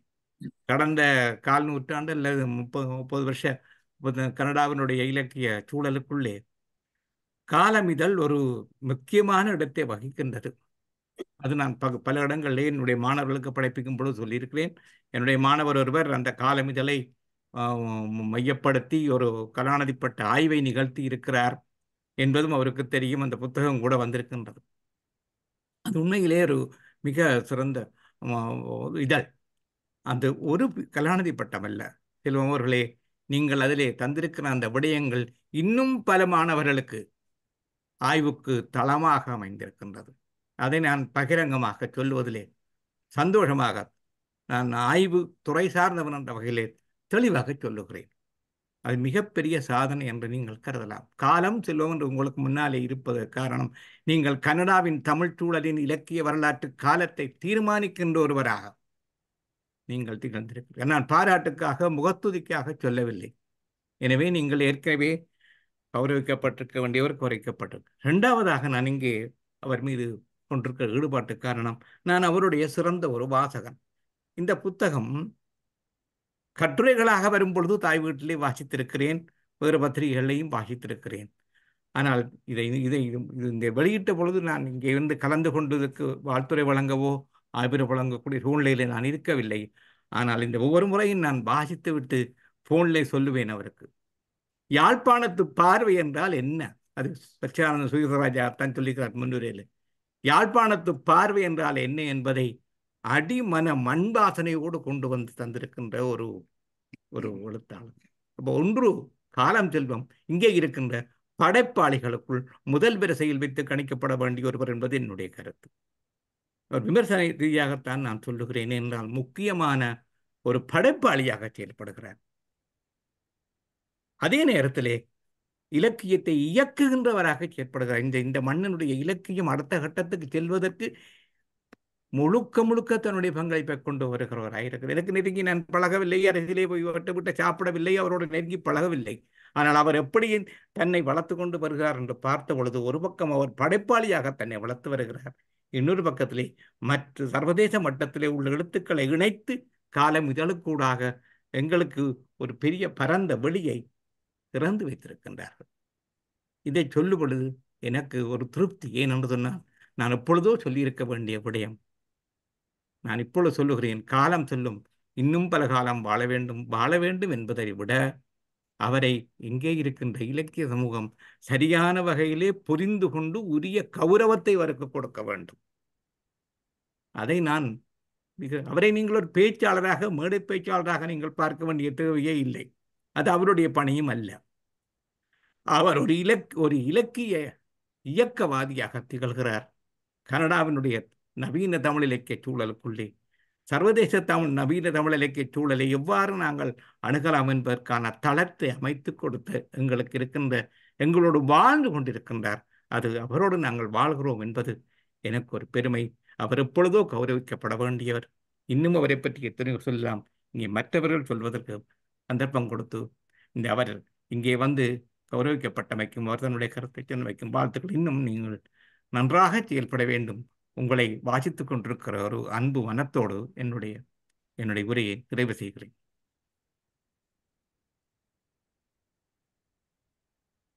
நன்றி பேராசிரியர் கலாநிதி சுப்பிரமணியம் ஐயா அவர்கள் செல்வம் அவர்கள் நீங்கள்.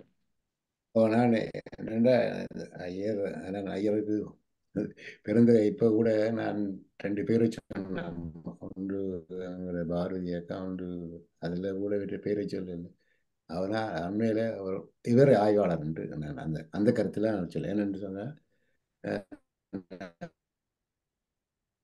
போன ஜிஎம்ஓன் வீட்டில் நான் ரெண்டு மூணு தடவை தங்கி இருக்கிறேன் அவருடைய டேபிளில் அந்த மேசையில் அந்த இலங்கை சம்பந்தமான ஐயர் எழுதின நாவலர் இருக்கிறோம் ஐயருடைய ஒரு காலம் நெருக்கம் வரையில்லை. கண்டெடுத்து சிரிக்கிறது. ஆனால் அவர் ரெண்டாயிரம் ஆண்டே விளம்பரம் மகேந்திரன் என்னை கூட்டிக் கொண்டு வரை சந்திக்க போனது.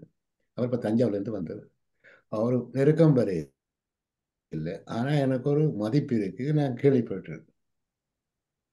அப்போ என்னுடைய காலத்தை ஐம்பத்தி ஏழு காலத்தை ஒரு மா ஒரு நண்பர் நண்பர்னா சும்மா எனக்கு தெரியும். அவர் கேட்டார் அவர் தர முடியுமா அவங்களுக்குன்ட்டு என்னத்துக்குன்ட்டு கேட்க நான் அதில் புலம்பெயர்ந்த இலக்கியம் ஆய்வு செய்ய போகிறேன் அதுக்கு என்ன? அப்போ நான் சொன்னேன் உங்களுக்கு யார் இதை சிபாரிசு செய்தேன்னு கேட்டேன். ஐயர் தான் சுப்பிரமணிய ஐயரான்னு சொன்னவர் எனக்கு ஆச்சரியம். சுப்பிரமணிய ஐயர் அப்படி நான் இப்போ ஒரு ஒரு காலம் நான் அதை பெரிசாக்கி இங்கே செய்யவும் இல்லை.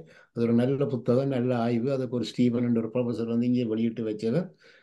ஆனால் இதுக்கு அடிப்படை காரணம் உண்மையிலே ஐயர் அதுதான் பெருந்தகை என்று சொல்லி என்னோட உறவில் இருந்து என்னோட இருந்து குறுக்க வாக்கில் இருந்து இது சிவாறு செய்த அவர் வந்து தானாக எனக்கு ஒரு நெருக்கம் இல்லை. இப்போ நான் உதாரணத்தை வருங்க எனக்கு வேறு லோகந்தலிங்கம் எனக்கு முன்னாடி அவரோட எனக்கு நல்ல நெருக்கம் இருந்தது. அந்த காலத்தில் நாங்கள் நெட்டிங்கி பழகின்றது சேர்ந்து வேறு இதுகளால் குடும்ப சூழல் அது இதுன்றது ஆனால் ஐயரோட நான் ஒரு காலம் நெருங்கி பழகி இல்லை அவர் பெரிய படித்த மனுஷர் அது இதுன்ட்டு ஆனால் அந்த எனக்கு இந்த அவர் இவர் சொல்லல. அந்த மாணவர் தான் எனக்கு சொன்னது. எனக்கு சுப்பிரமணிய ஐயர் தான் சொன்னவர். காலத்தை எடுக்க சொல்லு. நான் என்ன உங்களுக்கு தாலே இதுக்கு எதிர்ப்புகள் வரும் ஏனென்று சொன்னால் இங்கே நீண்ட காலமாக ரெண்டு பேர் தங்களோட உழைப்புகளை பத்திரிகைகள் செய்கிறாங்க.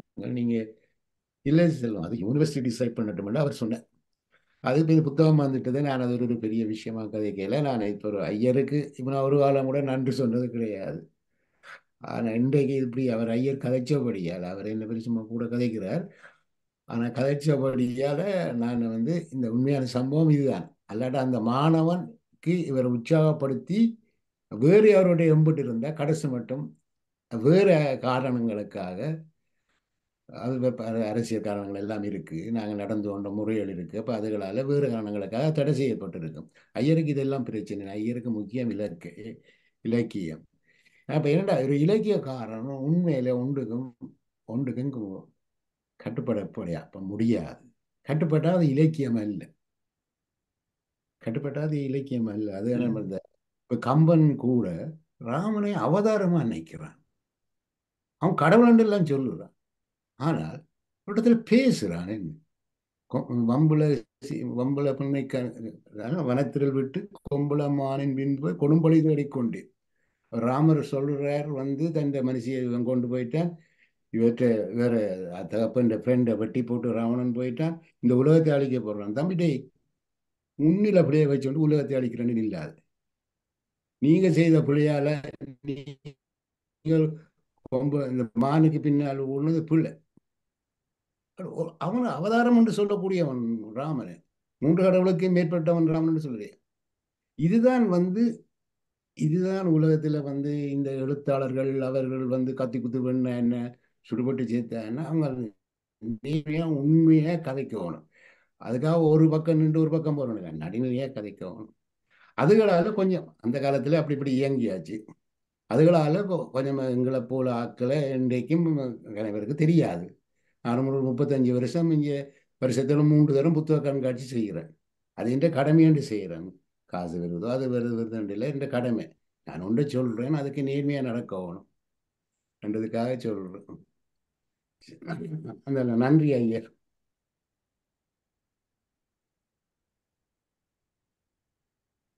நன்றி. அடுத்ததாக லோகேந்தர்லிங்கம் அவர்களை அழைக்கிறேன். நன்றி. தலைவருக்கும் செல்வம் அவர்களுக்கும் இனிய அனைவருக்கும் வணக்கம். எழுத்தாளர் அரங்கத்திலே இதுவரை செல்வம் அவர்களை தவிர்த்து இருபத்தி ஒரு பேர் கலந்து கொண்டிருக்கிறோம். அதில் நானும் ஒருவன். ஆகவே அந்த மிகுதி இருபது பேருடைய அரங்கத்திலே நான் ஓரிருவர அரங்கத்திலே நான் கனடாவில் இல்லாத மக்கள் எல்லாம் கலந்து கொள்ளவில்லை. செல்வம் அவர்களுடைய உரை எப்படி இருந்தென்றால் தன்னை பற்றி சொல்லல. ஆனால் அவர் அவர் என்னட்ட அவரை பற்றி சொல்றது நிறைய விஷயம் ஒன்று. மற்றது இங்கே உரையாற்றிய பலர் தங்களை பற்றி சொல்லியிருக்கிறார். ஆனால் ஆ- அவற்றில் பல எங்களுக்கு ஒரு பரவசத்தை தருகின்ற அல்லது ஒரு பாடத்தை கேட்பது போன்று ஒரு விஷயத்தை கற்றுக்கொள்வது போல ஒரு அனுபவத்தை எங்களுக்கு தருவது போல இருந்தது. உதாரணத்துக்கு பேர் எல்லாரையும் செல்வன் சொன்ன மாதிரி எல்லாருடைய பேரையும் சொல்லல எனக்கு இந்த எழுத்தாளர் திவ்யராஜன் மற்றது ரவி. ரவி சொன்ன விஷயம் என்னன்னா அது ஒரு ஒரு தந்தையினுடைய அதாவது இலக்கியத்துக்குள்ள ஒரு மகனை கொண்டு வரத்துக்கு தந்தை காரணமாக இருந்திருக்கிறார். இப்ப சொல்லிக்க எனக்கு ஒரு மகிழ்ச்சி இல்லை நாங்களாம் கொஞ்சம் சிரிச்சிட்டு ஆக்கள் அப்ப அவ்வாறான பல விஷயங்கள்ல தந்தது தான் இந்த எழுத்தாளர் செல்வம் ஒரே ஒரு ஆள் தான் தன்னை பற்றி சொல்ல வந்திருக்கார் அப்ப அது எனக்கு சந்தோஷம். என்ன நான் சொல்லுவேன் ஏன்னா அவர் அஹ், பிரான்ஸ்ல இருந்தது. அதுக்கு முன்னதாக இந்த சோக்கல்லோ சண்முகம் அவர்கள் உடைய கவிதையில நல்ல கவிதை. எல்லாமே எல்லாமே பொருள் என்று சொல்லலாம். அதுல ஒன்றும் வேஸ்ட் இல்லை. இந்த அவர் கதைப்பது கற்கண்டு பாகாவும் என்று சொன்னார். செல்வத்தோட உரையாடுற போது அப்படித்தான் இருக்கும். ஒரு கற்கண்டு சின்ன ஒரு சிரிப்போட அவர் விஷயங்களை சொல்லுவார் நகைச்சுவையா இருக்கும். அதை நான் அனுபவித்தேன். மற்றது இரண்டாவதாக சுப்பிரமணிய ஐயா அஹ், அதுல வந்து சொன்னது இந்த ஒரு மடை திறந்தது போல இருந்தது. ஒரு ஒரு ஒரு ஒரு வெள்ள அ- அணையை திறந்து மெதுவாக நீர் ஓடுற மாதிரி இருந்தது. ஒரு நீரோட்டத்துல நான் இப்போ ஒரு மிதக்கிற மாதிரி. இந்த அந்த உணர்வு வருது எனக்கு. என்னடா நாங்கள்லாம் நாங்கெல்லாம் கவிதைகளோட தான் செல்வத்தை போல கவிதைகளோட வளர்ந்தார் கவிதையை பற்றி கவிதை தான் தன்னுடைய ஆரம்பம் சொன்னேன் நான் யாழ்ப்பாணத்தில் இருந்த நாட்களில் செல்வம் என்னோட பிரான்ஸ்ல இருந்து தொடர்பு கொண்டேன் அதுவும் கல்முனையில இருந்து கீற்று செய்து சண்முகம் சிவலிங்கம் மறைந்த அஷ்ராப் அமைச்சராக இருந்தவர் கூட ஒரு எழுத்தாளர். அவ்வாறானவர்களோடு இருந்துட்டு யாழ்ப்பாணம் வந்து மாற்று செய்கின்ற பொழுது இந்த மாற்று இதழ் பற்றி ஈழ நாட்டிலே ஒரு கட்டுரை வந்தது வாரம். இவர் ஈழ நாடு பிரான்சுக்கு அங்கிருந்து எடு காசு கொடுத்து எடுக்கிறவர் போல இருக்கு. அப்படிதான் அவர் சொல்லுவார். நான் அப்படித்தான் அதை கெஸ் பண்ணேன். அதுல அந்த மாற்றை பற்றி படிச்சுட்டு அதுல விலாசம் போட்டிருந்தது. ஒரு நாள் இப்போ எனக்கு அந்த நாட்கள்ல தொண்ணூறு இது வந்து கிட்டத்தட்ட ஒன்பது ஒன்பதாம் ஆண்டு இருக்கலாம். சென்னையிலேருந்து நாற்பத்தி நாலு வருடம் ஆஹ் நான் கல்முனையிலிருந்து மாற்றலாகி யாழ்ப்பாணத்துக்கு வரேன். ஒரு நாள் ஒரு கடிதம் வருது வெளிநாட்டு கடிதம். எனக்கு எனக்கு வெளிநாட்டிலேருந்து பணம் அனுப்புறது ஜெர்மனிலேருந்து ஒரு அண்ணர் தான். தேவதாசன். அதை விட எனக்கு ஒரு இடத்துல இருந்தும் எனக்கு அந்த நேரத்துல வெளிநாட்டு பணம் வரையில ஒரு ஒரு மணி ஆர்டர் மாதிரி ஒன்று வந்து அது எனக்கு புதுசா இருந்தது. அவரை பார்த்தா அதுல ஒரு கடிதம் இவரான் வச்சிருக்கிறார். அதோட ஒரு கவிதை எழுதியன். இந்த அந்த ரெண்டு இல்ல அந்த காசிரமாக இந்த கவிதை தான். கவிதையில் உள்ள ஓ- ஒரு ஓரிரு வரிகள் இப்போதும் என்னோட சேர்ந்து பயணி. அதான் அந்த கவிதை இப்ப அந்த காலம் எப்படி இருந்தேன்னா இப்ப புதுவை ரத்தினரோட நான் கவியரங்குகள் நெல்லையமிழ்லாம் தெரிகிற காலத்துல புதுவைக்கு குழந்தை பிறகு அப்ப அவங்க பேர் மாளிகா. ஒரு நாள் வந்தார் தம்பி என்ன என்னட்டு தான் அவர் நடந்து வந்தார் சைக்கிள்ல தம்பி வாங்க கைலாசபதி அப்ப கைலாசபதி யாழ்ப்பாணத்துக்கு வந்துட்டார்? கைலாசபதிக்கு அழைப்பு கொடுக்குறா என்னத்துக்குண்டா அந்த க- அந்த அந்த அழைப்பை எனக்கு தார இப்ப கைலாசபதி அவர்களுக்கு அழைப்பை கொடுப்பதற்கு கொண்டு குடிக்கொண்டு போகும்போது நான் அதில் உள்ள வரியை பார்க்குறேன். மாளிகா என்ற எந்த மகவின் மகவினை நான் தொட்டிலில் போடும் நாளில் தோழமையோடு இருந்த பொட்டிலுக்கு அழைத்தேன் வாரி. அங்கேயும் கவிதை கவிதையோடு தான் நாங்கள் சேர்ந்து அங்கேயும் மாட்டிருக்கிறோம் இவர் பிரான்ஸ்ல இருந்து எனக்கு கவிதை. அது ஒரு ஒரு நிகழ்ச்சி. அப்ப அந்த அந்த கவிதையில என்ன வரியண்டா மாங்க இலங்கைய அந்த என்னுடைய வடக்கு கிழக்கு அவர் மாங்கனி தீவின் மறுபாதி எங்களுக்கு இதை புதுவை கூட எழுதேன். நல்லையமிருதன் நல்ல நல்லையமிருதன் புதுவை நாங்கள் மூன்று பேரும் ஒன்னா சிறிய காலத்துல நல்லையமிருதன் நல்ல வரிகளை சொல்றாள் இப்போ இருக்கிறார். நான் இந்த இந்த மாங்கனி தீவின் மறுபாதி எங்களுக்குன்ற வரியை நீங்கள் அது அவருடைய அவருக்கு தான் ரைட் ஆனால் நான் இப்பவும் பாவித்துட்டு வரேன் என்னுடைய என்னுடைய கதிரோட்டம் என்னுடைய கதிரோட்டம் தொகுப்புல நான் மூன்று இடங்கள்ல அதை பாவிச்சிருக்கிறேன். என்னுடைய வடக்கு கிழக்கை சொல்ற போது மாங்கனி தீவின் மறுபாதி எங்களுக்கு என்று செல்வத்தினுடைய வரி. அந்த அந்த அந்த தொகுப்பு அந்த அந்த இது இதுவரை என்ற தொகுப்பு கொழும்பு சங்கியை ஒருவரைந்தனுக்கும் எனக்கும் பரிசு தந்த அந்த அந்த ஒரு இடத்தை எட்டின ஒரு கதரோட்டங்களுடைய தோப்புல கால ஒரு இலக்கியவாதியினுடைய வசனத்தை நான் பாவிக்கிறேன் பாரதியினுடைய கவிதையோ அல்லது காசியானந்தனுடைய கவிதையோ காசியானந்தனுடைய வரிகளை நாங்கள் பாவிக்கிறோம். புதுவையினுடைய வரிகளை பார்க்கிறோம் குப்பல் சுடுதல் குற்றம் பயிரளித்து த- திரிகின்ற யானையினை சுட்டாளது குற்றம். ஆணைக்கு கூட அனுதாபப்படும் இந்நாட்டில் மாண்பத்தின் விலையோ மிக மலிவு என்று புதுவை பாடியிருக்கிற கவிகள் அப்புறம் அந்த இந்த கவிகளோட வாழ்ற ஒரு காலத்துல இருந்து இதுதான் இவருடைய தொடர்பு கிடைக்கும் அப்ப நான் மாற்று சங்கியை இவருக்கு அனுப்புறேன்.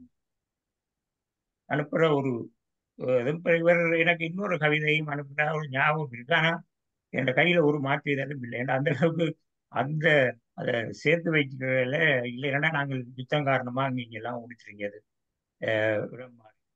தொண்ணூறுல இங்கே வந்தேன். அப்போ எனக்கு இங்கே தொண்ணூறுல கனடாவுக்கு வந்த பொழுது என்னை எனக்கு தெரிந்தவர்களாக இருந்தவர் இவர்களும் பார்க்க மூத்தவர் விநாயகர் இப்போ நாங்கள் அவரோட அங்கே சேர்ந்திருக்கிறோம்னா அவர் தம்பி என்று எனக்கு சொல்லுவார். அது மாதிரி செல்வம் என்னை சந்திக்க வந்திருந்தார். அவருடைய அவரோட சேர்ந்து நான் பயணித்திருக்கிறேன். அவருடைய காலம் இதழுக்கு நான் விளம்பரங்கள் எடுத்து கொடுத்திருக்கிறேன். அவர் இங்க சொன்ன விஷயங்கள் எல்லாத்துலயும் நான் சம்மந்தப்பட்டிருக்கிறேன் அது பெருமையோட அந்த மறந்திருந்த விஷயங்கள். இப்ப தெளிவத்தி ஜோசப் வந்த போது அவருக்கு தங்கப்பதக்கம் நான் பெற்றுக் கொடுத்தேன். வர்த்தக நண்பர்கள் அப்ப அது என்னன்னா அந்த நான் விளம்பரம் எடுக்க பழகினது இங்கே இல்லை. நான் இலங்கையிலேயே நான் ஒரு மின்சார அத்தியட்சராக இருந்தபடியா நான் அந்தந்த கல்முனையில கூட நான் புறா விளம்பரங்கள் என கிடைக்கும். அங்கே கீற்று யாழ்ப்பாணத்துக்கு வந்தும் நான் காரைநகர் ஊராட்சி ஏரியாவில் இருந்தபடியா யாழ்ப்பாணத்தில் இருக்கிற கடைக்காரர்கள் எல்லாம் இருக்கக்கூடியா இருந்து நான் எந்தவித நஷ்டம் இல்லாமல் யாழ்ப்பாணத்தில் இதழியல் இதழ் செய்த நான் மாற்று கீற்று அந்த அனுபவத்தை பாவித்து நான் நாங்கள் பத்திரிகையோ அல்லது இது தொடங்க முதல் அவருக்கு விளம்பரம் அவர் என்னிடம் கேட்டவர். அவர் அந்த நேரத்தில் விளம்பரதாரர் குறைவு. நட்போட என்னிடம் வந்து கே- அப்போ அப்ப எனக்கு நானும் விருப்பத்தோட செய்தேன்.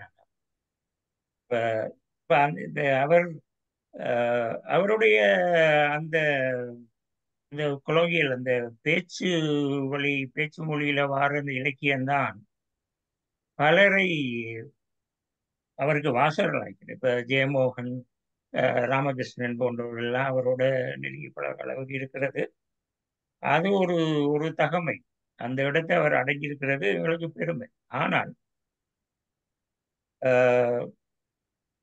பல விஷயங்களை சோக்கல்ல சொன்னார்ல சில்லையூர் செல்வராஜன் சில்லையூர் இல்லைன்னா இந்த கொண்டு வந்து சேர்க்கறதுக்கு இந்த இடம் அஹ், பொருத்தமா அந்த ஊர். ஊரோட காரணம். ஆனா சில்லையூர் வந்து என்னுடைய போலியல் விழித்தோழாவுக்கு குழம்புல இருந்து வாரார். புதுவை அவரை கொண்டு வர அந்த மாதிரி அந்த பரவசமான ஒரு இந்த அந்த காலம் இவர் காலம் சொல்லும் ஆனால் எங்களுடைய அந்த காலத்தை ஒரு பரவசத்தோடு மிகுந்த இதோடு மீட்டு பார்க்கறதுக்கு இவருடைய ஒரே அரங்கம் உதவி இருக்கு.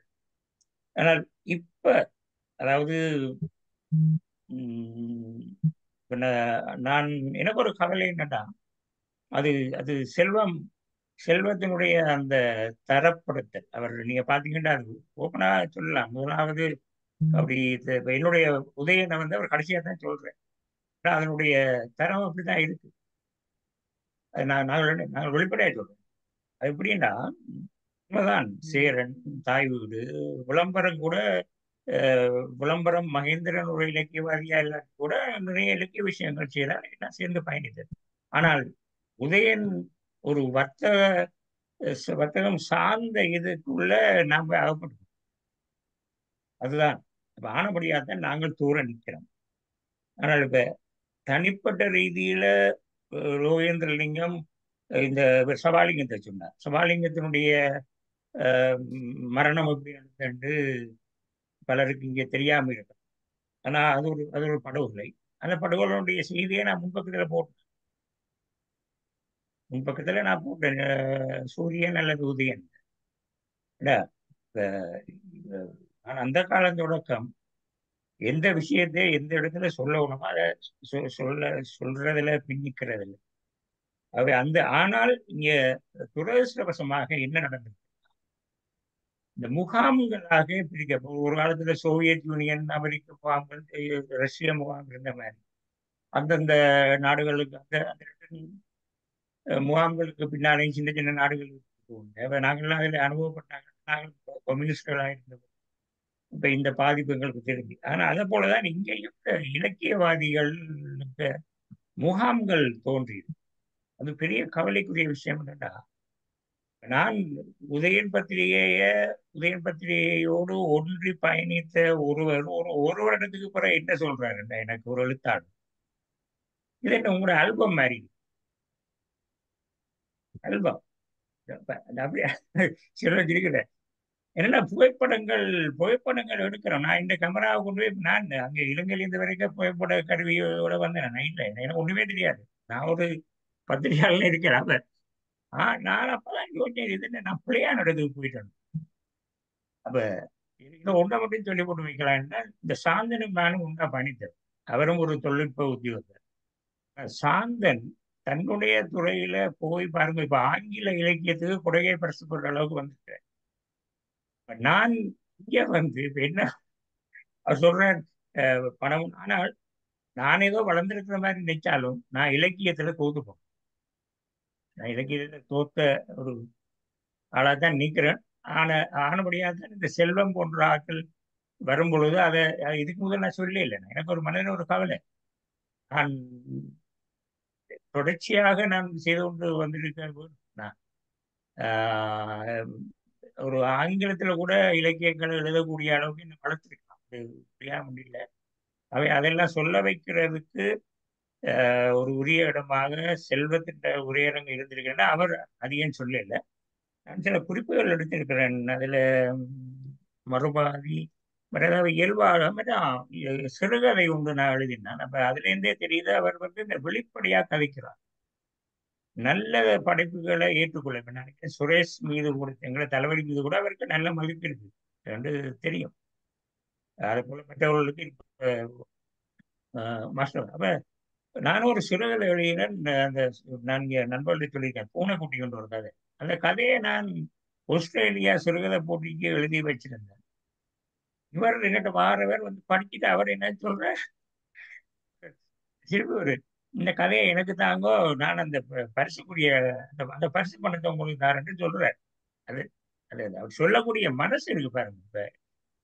அப்ப கனடாவுல இலக்கிய விமர்சனங்கள் எப்படி இருக்குன்றத இந்த செல்வம் அவர்கள் சார்ந்த அந்த முகாமுக்கு உள்ள உள்ள ஒருவர் எனக்கு என்ன சொல்றாருண்டா அண்ணன் ரவீந்திர லோன் அண்ணன் இங்க எப்படி இருக்குன்னா ஒரு ஆளுடைய ஒரு படைப்பை ஒரு ஆள் படிச்சுட்டேன் அப்ப அந்த படைப்பாளி வந்து இவரை கேட்கிறாராம் எப்படி இந்த கதையை படிச்சீங்களா?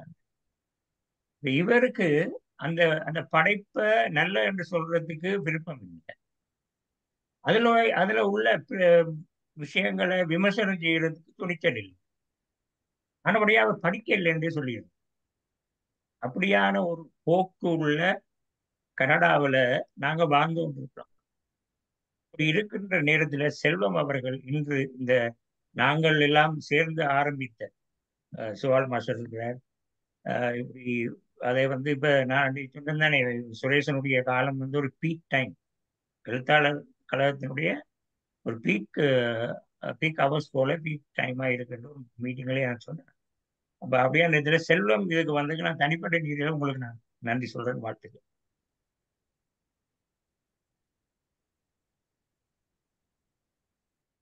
நன்றி. ஆர் என் லோகேந்திரலிங்கம் அவர்கள் செல்வம். நீங்கள் ஏதாவது குறிப்பிட இருந்தால் குறிப்பிடுங்கள் லோகேந்திரலிங்கத்துக்கு நன்றி. எனக்கு கொஞ்சம் நெருங்கிய நண்பர்கள் தான் எனக்கு சவாலிங்கத்தின் மேசையில் எண்பத்தி நாலா எண்பத்தி நாலு எண்பத்தஞ்சில் அந்த மாற்றேண்ட சஞ்சிகையை பார்த்தேன் நான் நட ஈழநாடு பார்த்தோன்னு தெரியல. அப்போ நான் வந்து அங்கே ஒரு கவியரங்கத்தில் சங்கை முழங்குன்ற ஒரு நிகழ்ச்சி கவியரங்கத்தில் ஒரு கவிதை வாய்ச்சேன்?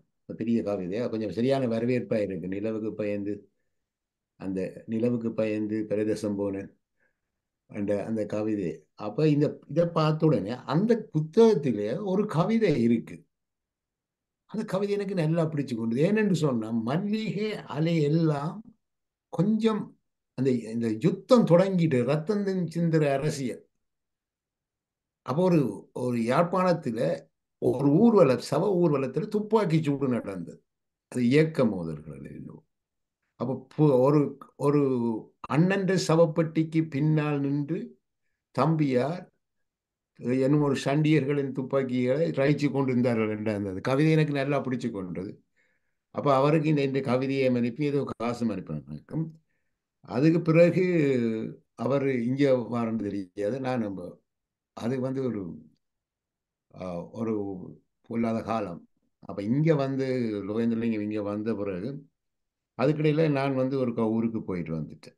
அதாவது பரிசில் இருந்து பேப்பர் கிடைக்காமல் வந்து கனடாவுக்கு வந்து அந்த அவங்க பரிசில் இருந்தால் ஒரே கனவுக்கு ஊருக்கு போகணும் ஊருக்கு போகணும் ஊருக்கு போகணுமான்ட்டு. அப்போ அங்கே பேப்பர் கிடைக்காது அது செய்யாது. இங்கே வந்த உடனே பேப்பர் கிடைச்ச உடனே போனால் எவ்வளவு கனவோடு போனேனோ அது எழுதி தீரா பக்கத்தில் வரும். குரங்கிலிருந்து மனிதன் தோன்றான்னு சொன்னால் குரங்கு வெக்கப்படும் என்ற அளவுக்கு என்னண்டா? நான் போய் நின்ற காலம் இந்திய நாமிட்டேன் ஒரு நாளைக்கு மண்டத்திருப்பில் மூன்று சேர்ந்தால் இங்கே மாதலுக்கு நாலு நாலு பேரை சுட்டு போடும் மாறி மாறி அப்போ இந்த எங்கட பைபிளில் இந்த எங்கட பூசையில் ஒரு சிவன் சொல்லுவாங்க. அவரே பலியாடாகவும் அவரே பலி செலுத்துவராகவும் அவரே பலிப்பீடமாகவும் என்று சொல்லி ஒரு ப்ரேயர் வரும். அப்படி ஒரு கேட்பார் இல்லை. ஆறாறு நிற்கணுமோ இல்லை அந்த டைம் அதை பிறகு வெறுத்து போச்சு. இந்த நாட்டையாடா நான் ஆசைப்பட்டேன். இதுதான் இந்த மண்ணண்ட மாதிரி ஒரு உணர்வு வந்தது. இல்லை ஒரு தரம் அவை சரி இவை விளையாண்டு இல்லை. அந்த இர நாங்கள் இருந்த காலத்தின் இரக்கம் அன்பு எல்லாம் போய் வெறுமையாக இருந்தது. இப்போ இந்த லோகந்திலிங்கம் இங்கே வரைக்கும் நாங்கள் வந்து இவர் வந்தன்னு கேள்விப்பட்டுட்டேன். அவர் ஒரு கடிதம் தேடகம் அட்ரஸுக்கு போடுறார் எனக்கு. இப்படி நான் இங்கே வந்துட்டேன். அப்போ அந்த எலும்புக்கூடல் ஊர்வலம் சேரன்ற புத்தகம் நாங்கள் வெளியிடுறோம். தொண்ணூறாம் ஆண்டு. அப்போ லோகந்திலிங்கம் அப்போ வந்துட்டேன் அப்போ வந்து அதோடைய நாங்கள் நெருங்கி பழகினாங்கள் அவர் அவர் உண்மையில் அவர் சொன்னது ஆயிரம் முறை உண்மை. அவர் நல்ல கவிஞர். ஏண்டா நீங்கள் யோசிச்சு பாருங்க மாற்றண்டு ஒரு சஞ்சியே நடத்துகிறேன்னு சொன்னால் அது வந்து ஒரு இலக்கிய பத்திரிகை. அது எத்தனை வந்து எனக்கு தெரியாது. சவாலிங்க தந்து பாட்டா அப்போ இங்கே யாழ்ப்பாணத்துலேருந்து இந்த சண்டைக்கே ஒரு பத்திரிகை வருது பாட்டாண்டு ஏதோ உதவி செய்ய முடியுமென்றா உதவி செய்யன்னு சொல்லி தந்தவர். சவாலிங்கம் சவாலிங்கம் அப்படியான ஒரு மனுஷன் நல்ல மனுஷன்.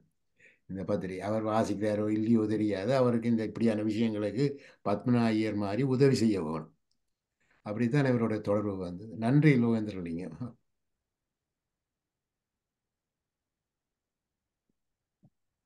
நன்றி. அடுத்ததாக மருத்துவர் போல் ஜோசப் அவர்களை அழைக்கின்றேன். வாருங்கள். அனைவருக்கும் வணக்கம். காலம் செல்வம் அவர்களை பற்றி நான் எதுவும் பேசவில்லை. அவரை பற்றி பேசுவதற்காக ஒரு உலக புகழ்பெற்ற ஒருவரை உங்கள் முன் அழைத்து வந்திருக்கிறேன். இப்பொழுது நீங்கள் பார்க்கலாம்.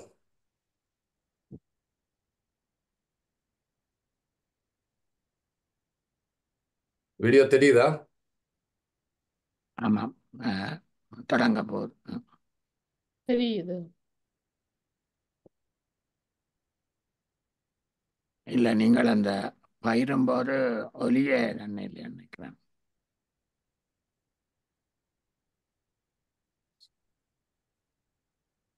சரி போடுங்க பார்க்கலாம். இல்ல ஒலி இல்ல mute. அது இல்ல அந்த sound mute ல recording இருக்குது mute அஹ் செய்து. சொல்லுங்க அஹ் டாக்டர் இல்லை நீங்கள் ஒலியே தானுங்க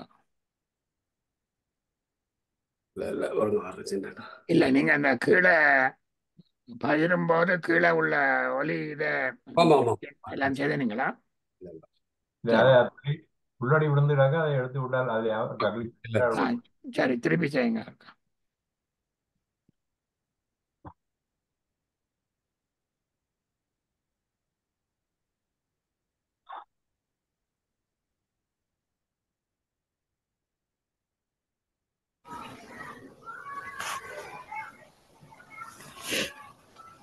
வருதா வீடியோ இல்லை? ஆ இப்போ வரும் போல இருக்கு. பாருங்க ப்ளே பண்ணுங்க. வீடியோ வருதா? வீடியோ வருது. சத்தம் அந்த எக்ஸ் எடுபட இல்ல. ஸ்டில் அந்த எக்ஸ் அப்படியே இருக்குது. அவர் அது சின்ன ஒரு அடையாளம் இருக்கு. எக்ஸ் அது அப்படி ஸ்பீக்கருக்கு மேல இருக்கா கிளிக் பண்ணிடுங்க. ஸ்பீக்கருக்கு மேலே இங்கேயா? ஆ அதான் அதான் மேல மேல மேல. கீழே சுட்டிய. ஸ்பீக்கர் பக்கத்துல ஒரு புல்லடி இருக்கு. மேல இருக்கு வர்றது இன்னைக்கு வருது பாருங்க. கீழே இல்ல டாக்டர் மேல. நீங்க.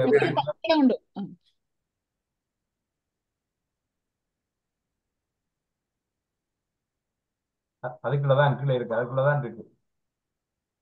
இந்த ஸ்பீக்கரை கிளிக் பண்ணி டாக்டர் ரைட் ஹேண்ட் கார்னர் பாட்டத்துல பாருங்க. ஒரு ஸ்பீக்கர் மாதிரி இருக்கு. அதுல ஒரு எக்ஸ் அந்த அந்த அதை கிளிக் பண்ணி விடுங்க டாக்டர் கிளிக் பண்ணி தான் இருக்கு. என்னுடைய தெரியுதா ஓ ஸ்டில் இருக்குது. க்ரோஸ் பண்ணிக்கொண்டு. நீங்க அந்த ரைட் ஹேண்ட் கார்னர் அந்த கீழே பாருங்க பட்டத்துல. அந்த யூடியூப் அந்த ப்ளே பண்ற ஸ்கிரீன்ல மட்டும் தெரியுது அது. இல்ல அந்த ஸ்பீக்கர் படம் தெரியுதல்ல ஆமா அதுல கிளிக் பண்ணுங்க. அதுக்கு புல்லடி தெரியுதல்ல அது மியூட்ல இருக்கு. இங்க எனக்கு வீட்டு தேவைன்னு தெரிய பாருங்க ஓகே ப்ளே பண்ணி. போட்டு அதை செய்து பாருங்க. ப்ளே பண்ணி போட்டு. ஆ ரைட் ரைட் ஓகே ஓகே இங்க இங்க. ஆ ஆ இப்ப கண்டுபிடிக்கலாம். சரி. இப்போ வீடியோ தெரியுதானே அது முதலே தெரியுது. வீடியோ முதலே தெரியுது. இப்போ நீங்க சவுண்ட் வேற. ஆ சரி. இன்று ஆறாவது நாள். ஓகே இன்று ஆறாவது நாள். நான் நடித்த தெனாலி என்ற படத்தில் நாயகன் பார்க்க கோமாளி போல் தென்படுவான். அவன் செய்வது எல்லாமே அபத்தம் என்றே பொருள்படும். அவனை பயந்தாங்கொள்ளி ஆக்கியது வாழ்வின் துயர். அதை பிறர் அறிய இயலுமா? அதை பிறர் அறிய செய்ய சிறு முயற்சியே அந்த படம். அப்படம் ஒரு துளி. புலம்பெயர்ந்தவர்களின் துயரோ கடல். அந்த துயர கடலின் ஒரு அலையே திரு செல்வன் அருளானந்தன் எழுதிய அனுபவ குறிப்புகளால் ஆன எழுதி தீரா பக்கங்கள் என்ற நூல். திரு செல்வம் அஹ், கனடாவில் வாழும் இலங்கை தமிழர். காலம் என்ற தரமான சிற்றிதழை கால் நாட் கால் நூற்றாண்டு காலங்க காலமாக நடத்தி வருகிறார். கவிஞர் எழுத்தாளர் இதழாசிரியர் என பன்முகம் இவருக்கு உண்டு. எண்பதுகளில் போர் சூழல் காரணமாக இலங்கையை விட்டு உலகெங்கும் புலம்பெயர்ந்த தமிழர்கள் அடைந்த இன்னல்கள் ஏராளம். உயிர்த்திருக்க வேண்டுமெனில் ஏதேனும் ஒரு தேசத்துக்கு ஓடிவிட வேண்டும். அகதிகளை கரங்கூப்பி வரவேற்கும் தேசங்கள் எண்பதுகளில் அரிது. என்றும் அவ்வாறே. புலம்பெயர் வாழ்வின் அத்தனை சிக்கல்களையும் நம்முள் கடத்தும் ரசவாதம் கொண்ட நூல் இது. எங்கும் உள்ள மனிதனின் பாடுகளை புலம்பெயர் வாழ்க்கையின் பின்னணியில் வைத்து சிரிக்க சிரிக்க சொல்லி செல்கிறார் செல்வம்.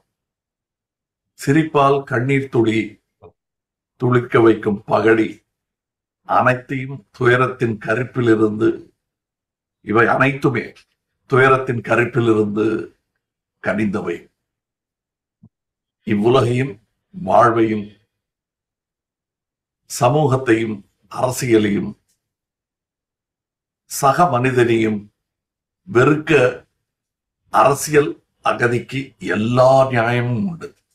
ஆனால் எந்த ஒரு சூழலிலும் எவர் மீதும் வெறுப்பே இல்லாத அனுபவ மொழிதல் கொண்டது இந்த நூல். நகைச்சுவை பத்து எழுத்துக்களில் இந்நூல் ஒரு சாதனை. நாளை மீண்டும் ஒரு நூலோடு உங்களை சந்திக்கிறேன்.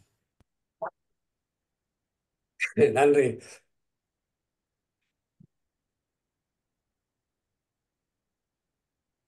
நன்றி மருத்துவர் போல் ஜோசப். இதை பற்றி செல்வம் அருளானது அவர்களிடம் சில கருத்துக்களை கேட்கிறோம். எனக்கு நான் ஒரு- இப்ப என்னோட வேலை செய்யற ஒரு நர்ஸுக்கு ஏதோ சோமலினா கூட பேருன்னு சொன்னேன்னா அவளுக்கு என்னை பற்றி ஒன்றும் தெரியாது. அவ என்ன ஒரு பிஎஸ்டபிள்யூ வந்து போறாருண்டு நீங்கள் வந்து ஒரு பெரிய ஆளாமே உங்களை பற்றி கமலஹாசன் எல்லாம் சொன்னவராமே என்று கேட்டேன். உங்களுக்கு யார் இந்த சம்பந்தம் நான் டாக்டர் சொன்னவர் நான் சொன்னேன் அவர் அவர் நம்மட அயலூர். ஒரே பள்ளிக்கூடத்துல படிச்ச நாங்கள் அவர் என்னோட சின்னால் நீங்கள் அதை தேடி எடுத்து போட்டிருக்கிறீங்களா? அது தமிழ்நாட்டில் நிறைய வேலை செய்திருக்கு. ஏன்னா இந்த இளையத்திர பக்கம் நிறைய பதிப்புகள் போயிருக்கு. அப்போ அப்ப அது இந்த இந்த கமலஹாசன் அந்த இது வந்து நல்லா வேலை செய்திருக்கு. அப்போ அந்த அது பதினேழாம் ஆண்டு சொல்லியிருக்கோம். பதினேழு பதினெட்டாம் ஆண்டு. உங்களை உங்களுடைய அந்த எழுதி தீரா பக்கங்களை நான் படிக்கவில்லை. முழுமையாக என்னுடைய மகள் மேரி கியூரி அவர்கள் படித்திருக்கிறார். அவர்தான் இந்த இப்படி ஒரு வீடியோ இருக்குன்னு எனக்கு கடந்த ஆண்டு சொன்னார். அப்போது பார்த்தேன். அப்ப இன்னைக்கு நீங்க பேச சரி எனக்கு ஞாபகம் வந்து இதை எடுத்து போடுவோம் நன்றி வணக்கம். பதிவில நாங்கள் சேர்க்க முடி சேர்த்தா சேர்க்க முடியுமோ தெரியாது. முயற்சிப்போம். சில நேரங்களில் காப்பிரைட் இஷ்யூகள் இருக்கலாம் பார்க்குறேன்.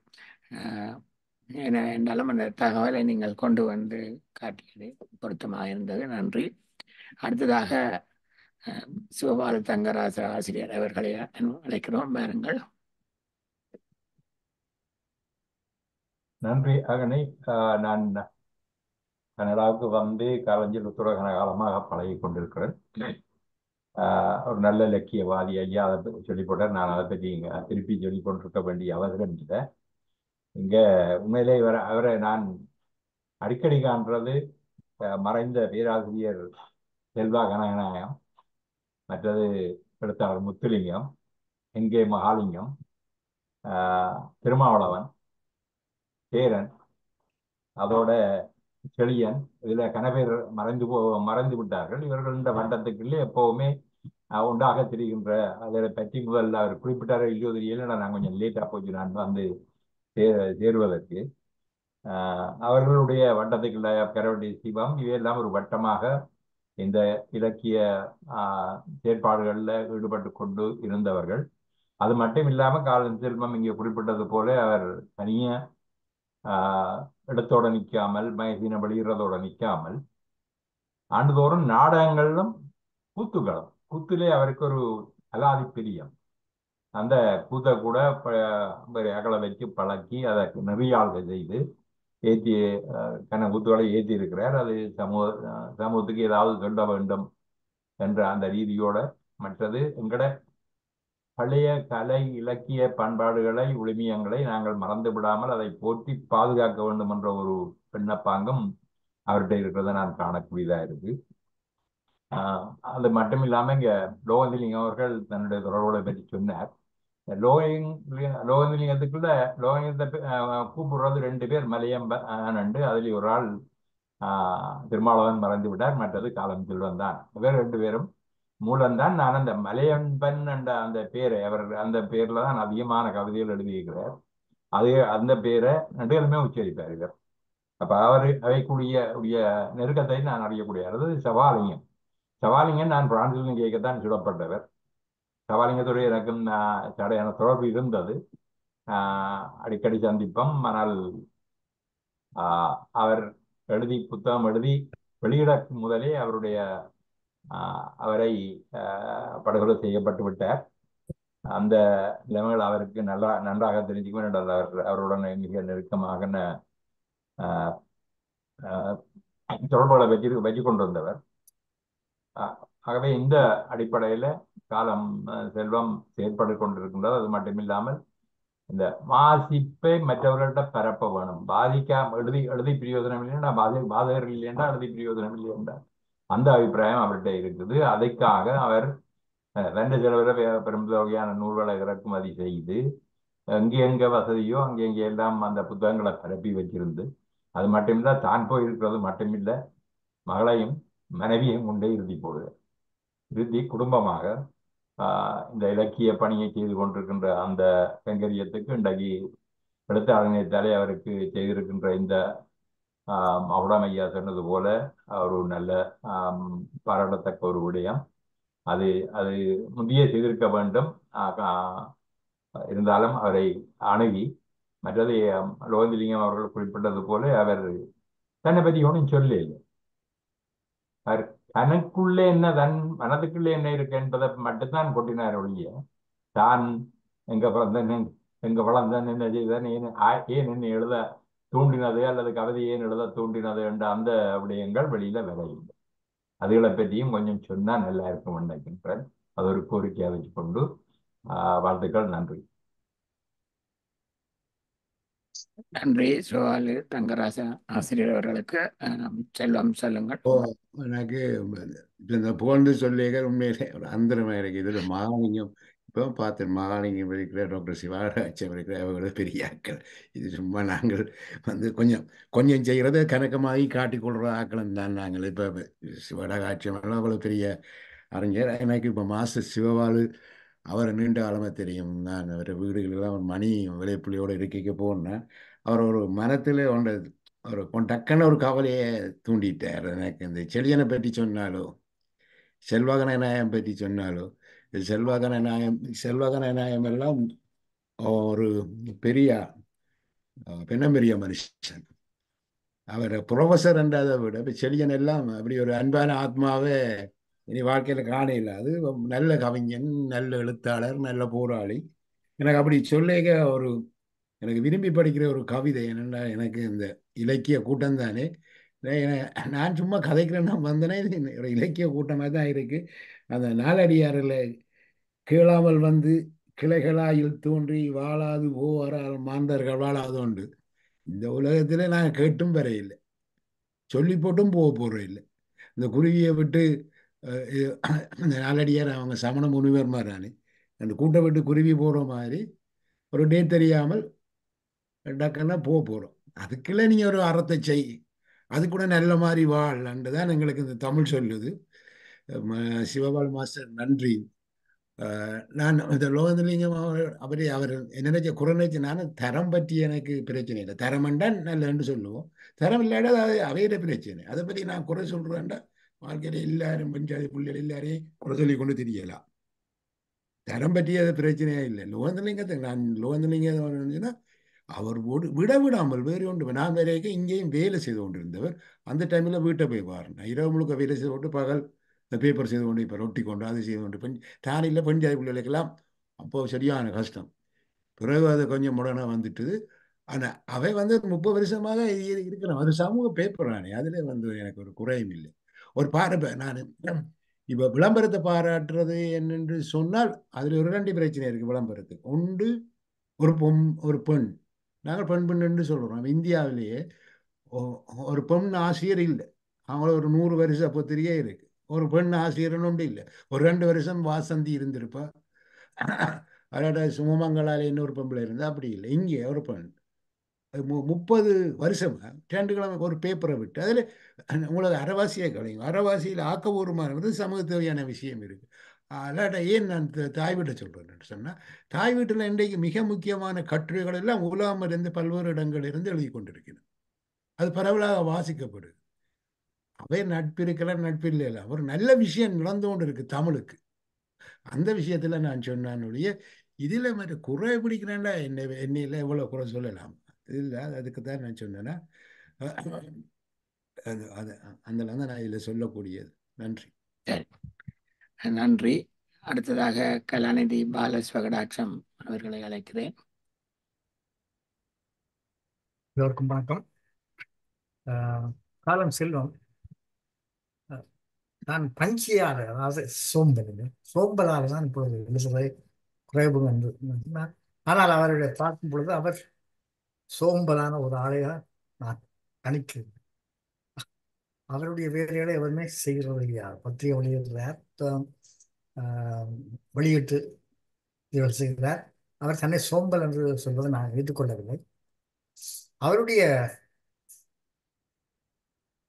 கதைகளை வாசித்த நான் அவருடைய கவிதை ஆர்வத்தை நான் கேள்விப்பட்டேன் உண்மையிலே நான் மிகவும் விரும்பி நேசித்த இலங்கை கவிஞர் மகாகவி வாரிசாக வரக்கூடிய தகுதி அவருக்கு இருக்கு என்று ஆகவே அவர் இனிமேல் இந்த கவிதையிலும் சில நேரம் எடுத்து இந்த கவிதை துறையிலையும் பங்களிப்பு செய்ய வேண்டும்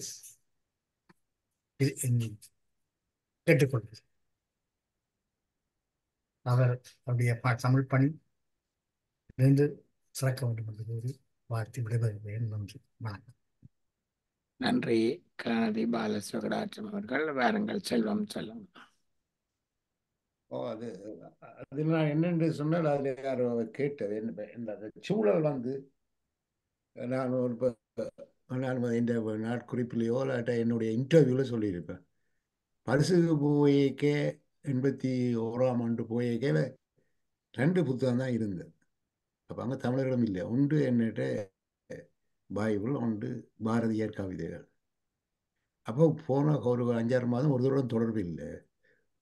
அப்போ அந்த திரும்ப திரும்ப பைபிளை வாசிக்கிறதோ இல்லாட்டால் இந்த பைபிளும் ஒரு கவிதை மொழியெலாம் இருக்கும். மறுது பாரதியார் வந்து மிக பிரியமான கவிஞர். அப்போ அது பா வாசிக்கிறேன்னு சொன்னால் இப்போ எனக்கு அது பாடமாக போடும். கொஞ்சம் இப்போ நம்ம இன்றைக்கும் சொன்ன மாதிரி தென்னாப்பிரிக்க தாபரி நாட்டிலும் தென்முனை அடுத்த தீவுகள் பரவிலும் தீ பரவியுள்ள தமிழ் சாதி கயிறொடி உண்டும் ஏன்னா அந்த அவனுக்கு பிரியம். அப்படி இருக்கைக தான் அந்த என்னென்ன இந்த புலம்பெயர்வு வந்து உங்களுக்கு தனிமையை தரும் என்ன? எப்படித்தான் நண்பர்கள் இருந்தாலும் தனிமையை தரும். அப்போ வந்து நாட்டு பிரச்சனையால் நாட்டை பற்றியே என்ன வீட்டில் என்ன பாடோ? ஐயோ அருமந்த பூமியை விட்டுட்டு வந்து இங்கே வந்து ஒரு அறை கிடந்து இப்படி வேலை தேடி அலையிறோமே அப்படி இப்படின்ற ஒரு கவலை வரைக்கு தான் அந்த கட்டிடக் காட்டுக்குள் என்ற ஒரு கவிதை எழுதுனேன் வந்து எல்லாருக்கும் பிடிச்சு கொண்டது. ஆஹ் அந்த அதுக்கு பிறகு இந்த வேண்டுகோளுக்கு நாங்கள் போய் முதல் போய் இந்த வில்லங்கத்துக்கு எழுத இல்லாமல் இங்கே காய்ச்சட்டை மேற்ற போட்டு ஆஹ் அலையுறோம் என்ற அந்த அப்படியானவர்கள் அகதி பணம் தேட அகதி பணம் தேட என்ன? கனவு பணம் விட கடல் கடந்தோம் அகதித்தரையில் முகம் இது அங்கே இருக்கிற ஆக்களுக்கு நல்லா பிடிச்சி கொண்டு இப்போ ஃபோன் பண்ணி பண்ணி ஒவ்வொரு மாதமும் அதை அப்படி எழுதி அதான் அது புத்தகம் வந்து அப்போ உமாகாந்தன் நான் சொல்ல சண்ம அவை வந்து சேர்ந்து அந்த புத்தகத்தை போட்டது. அது அது எனக்கு நான் உண்மையிலே எழுத்து எழுத போகணும் என்ற நாங்கள் தமிழ் வந்து ஒரு வளமான ஒரு மொழி. இன்று வரையில் இத்தனை பேர் என்ன மாதிரி எல்லாம் எழுதி கொண்டிருக்கிறேன் அதில் நான் யார் ஆனால் சும்மா ஒரு ஆசையில் எழுதி பார்க்குறதோடைய அதுக்கு வே- எங்களுக்கு வேலை வேற இருக்குது எழுதுகிற ஆக்களை ஊக்குவிக்க வேணும் எழுதுகிற புத்தகத்தை விற்க பண்ணணும் எழுதுகிற ஆக்கள புத்தகத்தை போட பண்ணணும் அந்த அதுதான் உண்மையான ஆசை. ஆனால் அதால் சில வேலை ஒரு ஒன்று ரெண்டு அதால் வந்து உண்மையில் இந்த இப்போ நீங்கள் இது போட்டபடியால் அந்த எழுதித்திரா பக்கம் வாரதுக்கு காரணம் உண்மையில கருணாவும் திலீப்குமார் நான் ஒரு ஒரு கட்டுரை ஒரு நாள் கண்ணா பேசினா போல எழுதி கொடுத்துறேன் முதலாவது கட்டுரை. இப்போ மூன்று எழுதி போட்டு சொன்னேன் இது முடிஞ்சதுடா அப்போ விட என்ன. ஆனால் அவனை ஒவ்வொரு நாளும் சந்திக்கிறது என்ன? அவன் பேசிக்கொண்டே இருப்பான். அப்போ அப்படி வந்து தான் அது உண்மையிலே நான் பிளான் பண்ணி அப்படி ஒன்றும் புத்தகமாக போடணும் ஒன்று இல்லை. அதை வந்து ஒரு ஆள் வந்து வசந்தகுமார் என்று தமிழினி பதிப்பகத்துக்கு சொல்லி இப்படி தாய் வீட்டில் ஒரு கட்டு வைப்பது நல்லா இருக்குது புதுசாக இருக்குண்டு அப்போ இப்போ கண்ணன் கூட காலேஜோட எனக்கு ஃபேமிலி ஃப்ரெண்டு ஆனால் வசந்தகுமார் இங்கேருந்து அடித்து அந்த பிரதிகளை அனுப்புங்க. பார்ப்போனா பார்த்துட்டு சொல்ல நான் புத்தகமாக போட போகிறேன் அல்லாட எனக்கு ரெண்டாவது புத்தகமே வந்திருக்கு. அது அப்படி ஒரு திட்டத்துடன் நான் இயங்க இல்லை. இந்த ஐயராக்களுக்கு தெரியும். எந்த நோக்கம்? காலத்தை கொஞ்சம் கொண்டு வரணும்? அதுக்கு கையில் காசு இல்லை. ஒரு மாதந்தமாக இன்ட்ரெஸ்டல் புத்தகமாக கொண்டு வரணும் அந்த கனவோட நானும் இறந்து போன குமார்மூர்த்தி பின்னால் செழியன் அப்படி இந்த திட்டமிட்டுனாங்க அது சரி வர இல்லை. அது வந்து பல்வேறு சிக்கல்களால் சரி வரையில்லை ஆனால் அந்த எழுத்தாளரை வரணும் புத்த எந்த புத்தகம் வரணும்ன்றது எங்களை அறியாத இயற்கையோ அல்லது கடவுளின் செயல் என்று தான் நினைக்கிறேன் என்ன நான் அப்படி ஒரு காலம் திட்டமிடையில்லை அப்படி திட்டமிடுறேன்னு சொன்னால் இன்றைக்கு இப்போ நான் இப்போ ஒரு புத்தகம் எழுதினால் காலேஜ் கூட அது சும்மா போடுவேன் உடனே அப்படியே நான் அது இப்போ சொன்ன மாதிரி தான் இருப்பேன் இருப்பேன் பல்வேறு சோழியல் அதிலும் ஒரு சோம்பல் ஒரு காரணம். இந்த இப்போ இருக்கிற மீடியாக்கள் நான் சொன்ன மாதிரி தான் தச்சியில் ஒரு நாளைக்கு ஃபேஸ்புக் வேலை செய்யாட்டா நான் என்னென்றா வாழ போகிறேன்ற மாதிரி தான் நினைப்பேன் அப்படி யார வேறு வேறு பிறாக்களில் போகிறபடியால் மற்றது அந்த நான் இருக்கு தெரியல. இப்படி ஒன்று நான் யோசிக்கல இப்படி ஒன்றுக்கு நான் வாரதே இல்லை. இவர் வந்த பிறகு ஒரு சின்ன மாற்றங்கள் நடந்திருக்கு இந்த எழுத்தலாட் இணையத்தில். அது முந்திரி தாக்கல் செய்யல முந்தி எனக்கு தெரியுது அதை சொல்கிறேன் இப்போ இவரே எனக்கு தெரியும். இவரில் எனக்கு பெரிய மதிப்பு இருக்குது முந்தி ஒரு வேடத்தில் வேலை செய்தவர் அங்கே எல்லாம் போய் பார்க்க பார்த்துருக்குறேன். அப்போ அப்படித்தான் தற்செயலாக சில விஷயங்கள் நடக்க முடியும் திட்டமிட்டு செய்த ஒன்றும் எங்களுக்கு பெருசாக வேற இல்லை. சரி இது தானா? சரி. நன்றி. தொடருவோம். உங்களுடைய தேசபாரதி ராஜலிங்கம் ஐயா வாருங்கள்.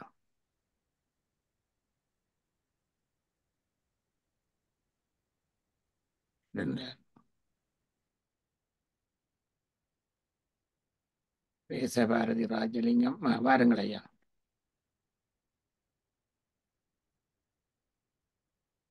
மியூட்ல இருக்கு ஐயா மியூட்ல இருக்கு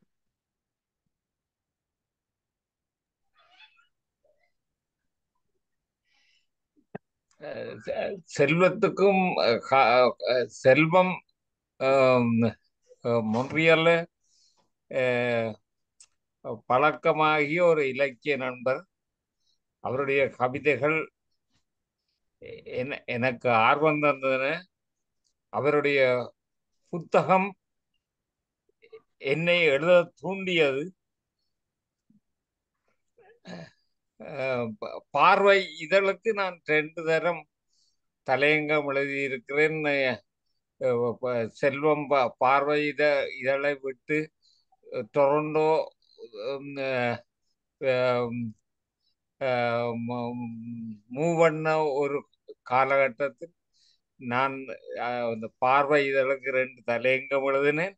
அதை விட இலக்கியத்திலும் இலக்கியம் எழுதுவதிலும் பத்திரிகை துறையிலும் பத்திரிகைக்கும் அவர் ஆற்றிய பங்கு என்னை ஒரு பத்திரிகையாளனாக மாற்றியது என்பது உண்மையான ஒரு கூற்று. காலன் செல்வத்தின் மகன் மகன் ம மக்கள் எல்லாம் எங்களுக்கு பழக்கமானவர்கள் இல அவர்கள் ஆற்றுகின்ற இலக்கிய இலக்கிய வெளிப்பாடுகளில் அவர்களின் பங்கு நான் அறிவேன். அதோ அத்தோடு செல்வம் தின்னுடைய புத்தக வெளியீடுகள் அவருடைய புத்தக வெளியீடுகள் எல்லாத்திலும் அவருடைய பிள்ளைகள் நின்று அவருக்கு பக்கபலமாக இயங்குகிறதை எனக்கு தெரியும். அது அது அவர்கள் மேல் அவர்கள் குடும்பத்தின் மேல் எனக்கு ஒரு பற்றுதலை உருவாக்கியது. அவர் காலன் செல்வம் எனக்கு என்னை ஊக்குவித்த இலக்கியவாதியாக்கிய பத்திரிகையாளனாக்கிய அவரது முயற்சி அத்தனைக்கும் உங்கள் மூலமாக உங்கள் உங்கள் முன் நான் அந்த நன்றியை செலுத்திக் கொள்ள விரும்புகிறேன் நன்றி.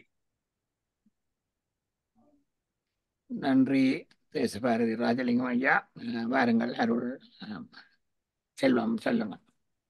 ஆனால் அவர் சொல்றது உண்மை. நான் வந்து பார்வை சஞ்சிய நடத்தைக்கே ஒரு இப்படி இல்லை நல்ல ஸ்மார்ட்டா நல்ல டீசெண்டாக வெளிக்கிட்டு வந்து தமிழ் ஒளியில வருவார் அப்பதான் தெரியும் இவர் ஒரு இலக்கிய பக்கக்காரன் என்று.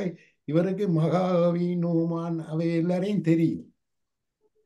அப்போ அப்போதான் வந்து நான் தப்ப எழுத சொல்லி கேட்டேன் நான்.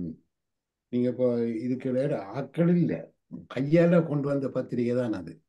கொஞ்சம் டைப் பண்ணுவோம் கொஞ்சம் கையால் எழுதுவோம். ஆனால் மாதம் மாதம் தவறாமல் அந்த பார்வை இதழ் வந்தது.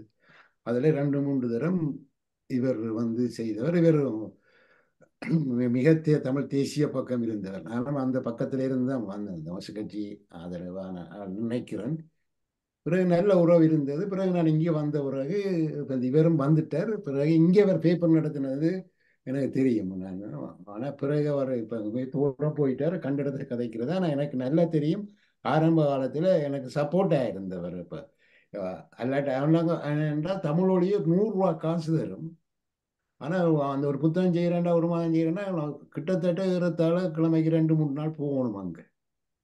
அங்கே போய் ஃபோட்டோ நாங்களாம் போ கையால் எழுத போகணும் டைப் பண்ணணும் ஃபோட்டோ காப்பி எடுக்கணும் அது புத்தகமாக பின் பண்ணணும் அவங்க நூறு டாலர் அதாவது அரசாங்க காசு. எங்களுக்கு வெல்வியரோட ப்ளஸ் இந்த நூறுரூவா இங்கே வேலை செய்யணும்னு சொன்னால் தருவாங்க. ஆனால் பதினெட்டு பத்திரிகையை நான் அதில் கொண்டாந்தேன். அந்த அனுபவங்கள்லாம் அது ஒரு அனுபவம் எனக்கு. அந்த அனுபவங்கள்லாம் பேருந்து இங்கே வந்த உடனே தேடகம் துவங்கின நேரத்தில் தேடல் என்ற இதெல்லாம் கொண்டு வந்தாங்க அதாவது மிக செலவழித்து வந்து அதில் வந்து மூன்று இதழ்களுக்கு மாத்திரம் என்ன என்னத்தான் செய்ய சொல்லி கேட்டது இப்போ இந்த வந்து அவங்க சொன்னாங்க அது ஜனநாயகம் இல்லை. நீங்களும் வேறு ரெண்டு சலியனும் ஏறணும் வச்சு செய்து. அது பிறகு வந்த சில அரசியல் பிரச்சனைனால எனக்கு தீவிர அரசியலில் நாட்டம் இல்லை. ஜனநாயகத்திலும் அதுகளில் நாட்டம் இல்லை தீவிர அரசியலில் பெரிய நாட்டம் இல்லை. அப்போ அதுக்கு பிறகு நான் சொன்னேன் நான் எனக்கு இலக்கியத்தெல்லாம் விருப்பம். நான் வந்து ஒரு இலக்கிய சந்தனி செய்ய போகிறோம் என்று சொல்லி. அப்போ அந்த நேரத்தில் ஊருக்கு போக வேணும் ஊருக்கு எண்பத்தொன்பதாம் ஆண்டு போன இடத்துல இந்தியாவில் நான் வந்து சிக்கிப்பட்டு கொண்டேன்.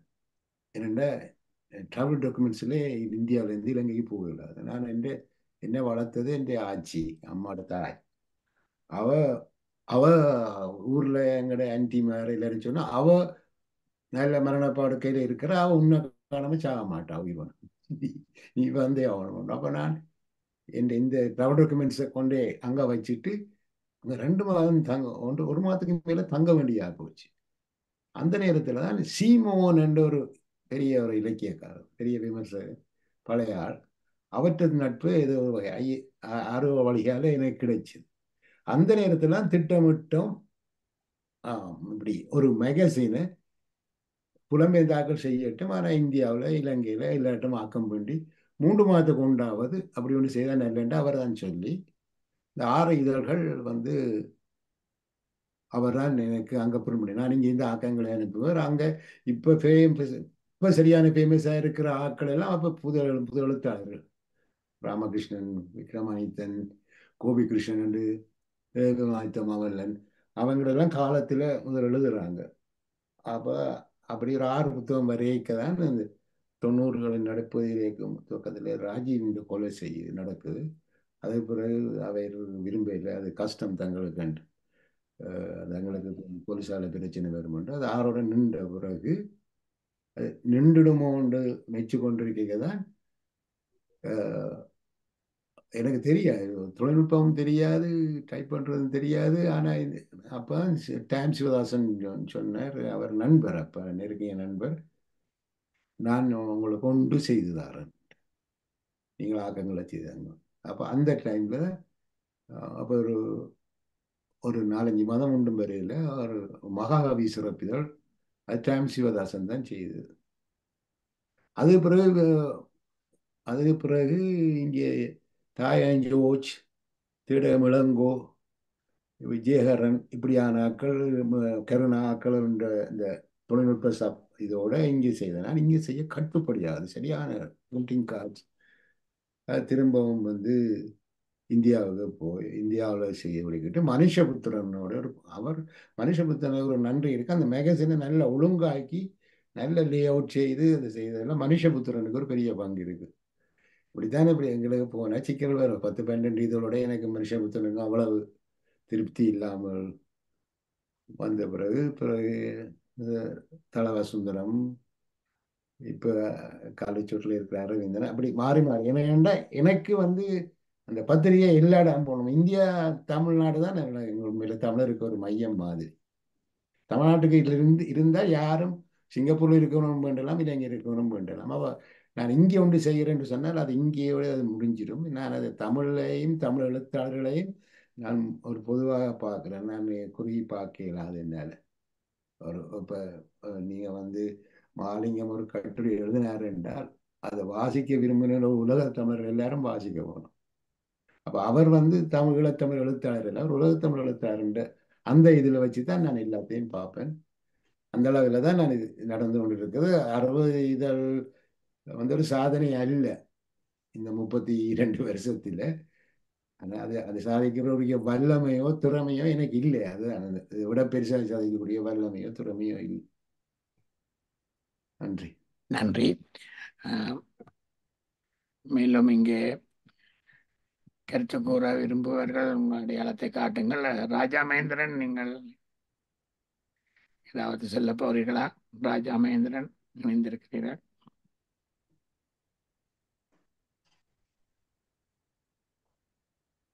ராஜா மகேந்திரன்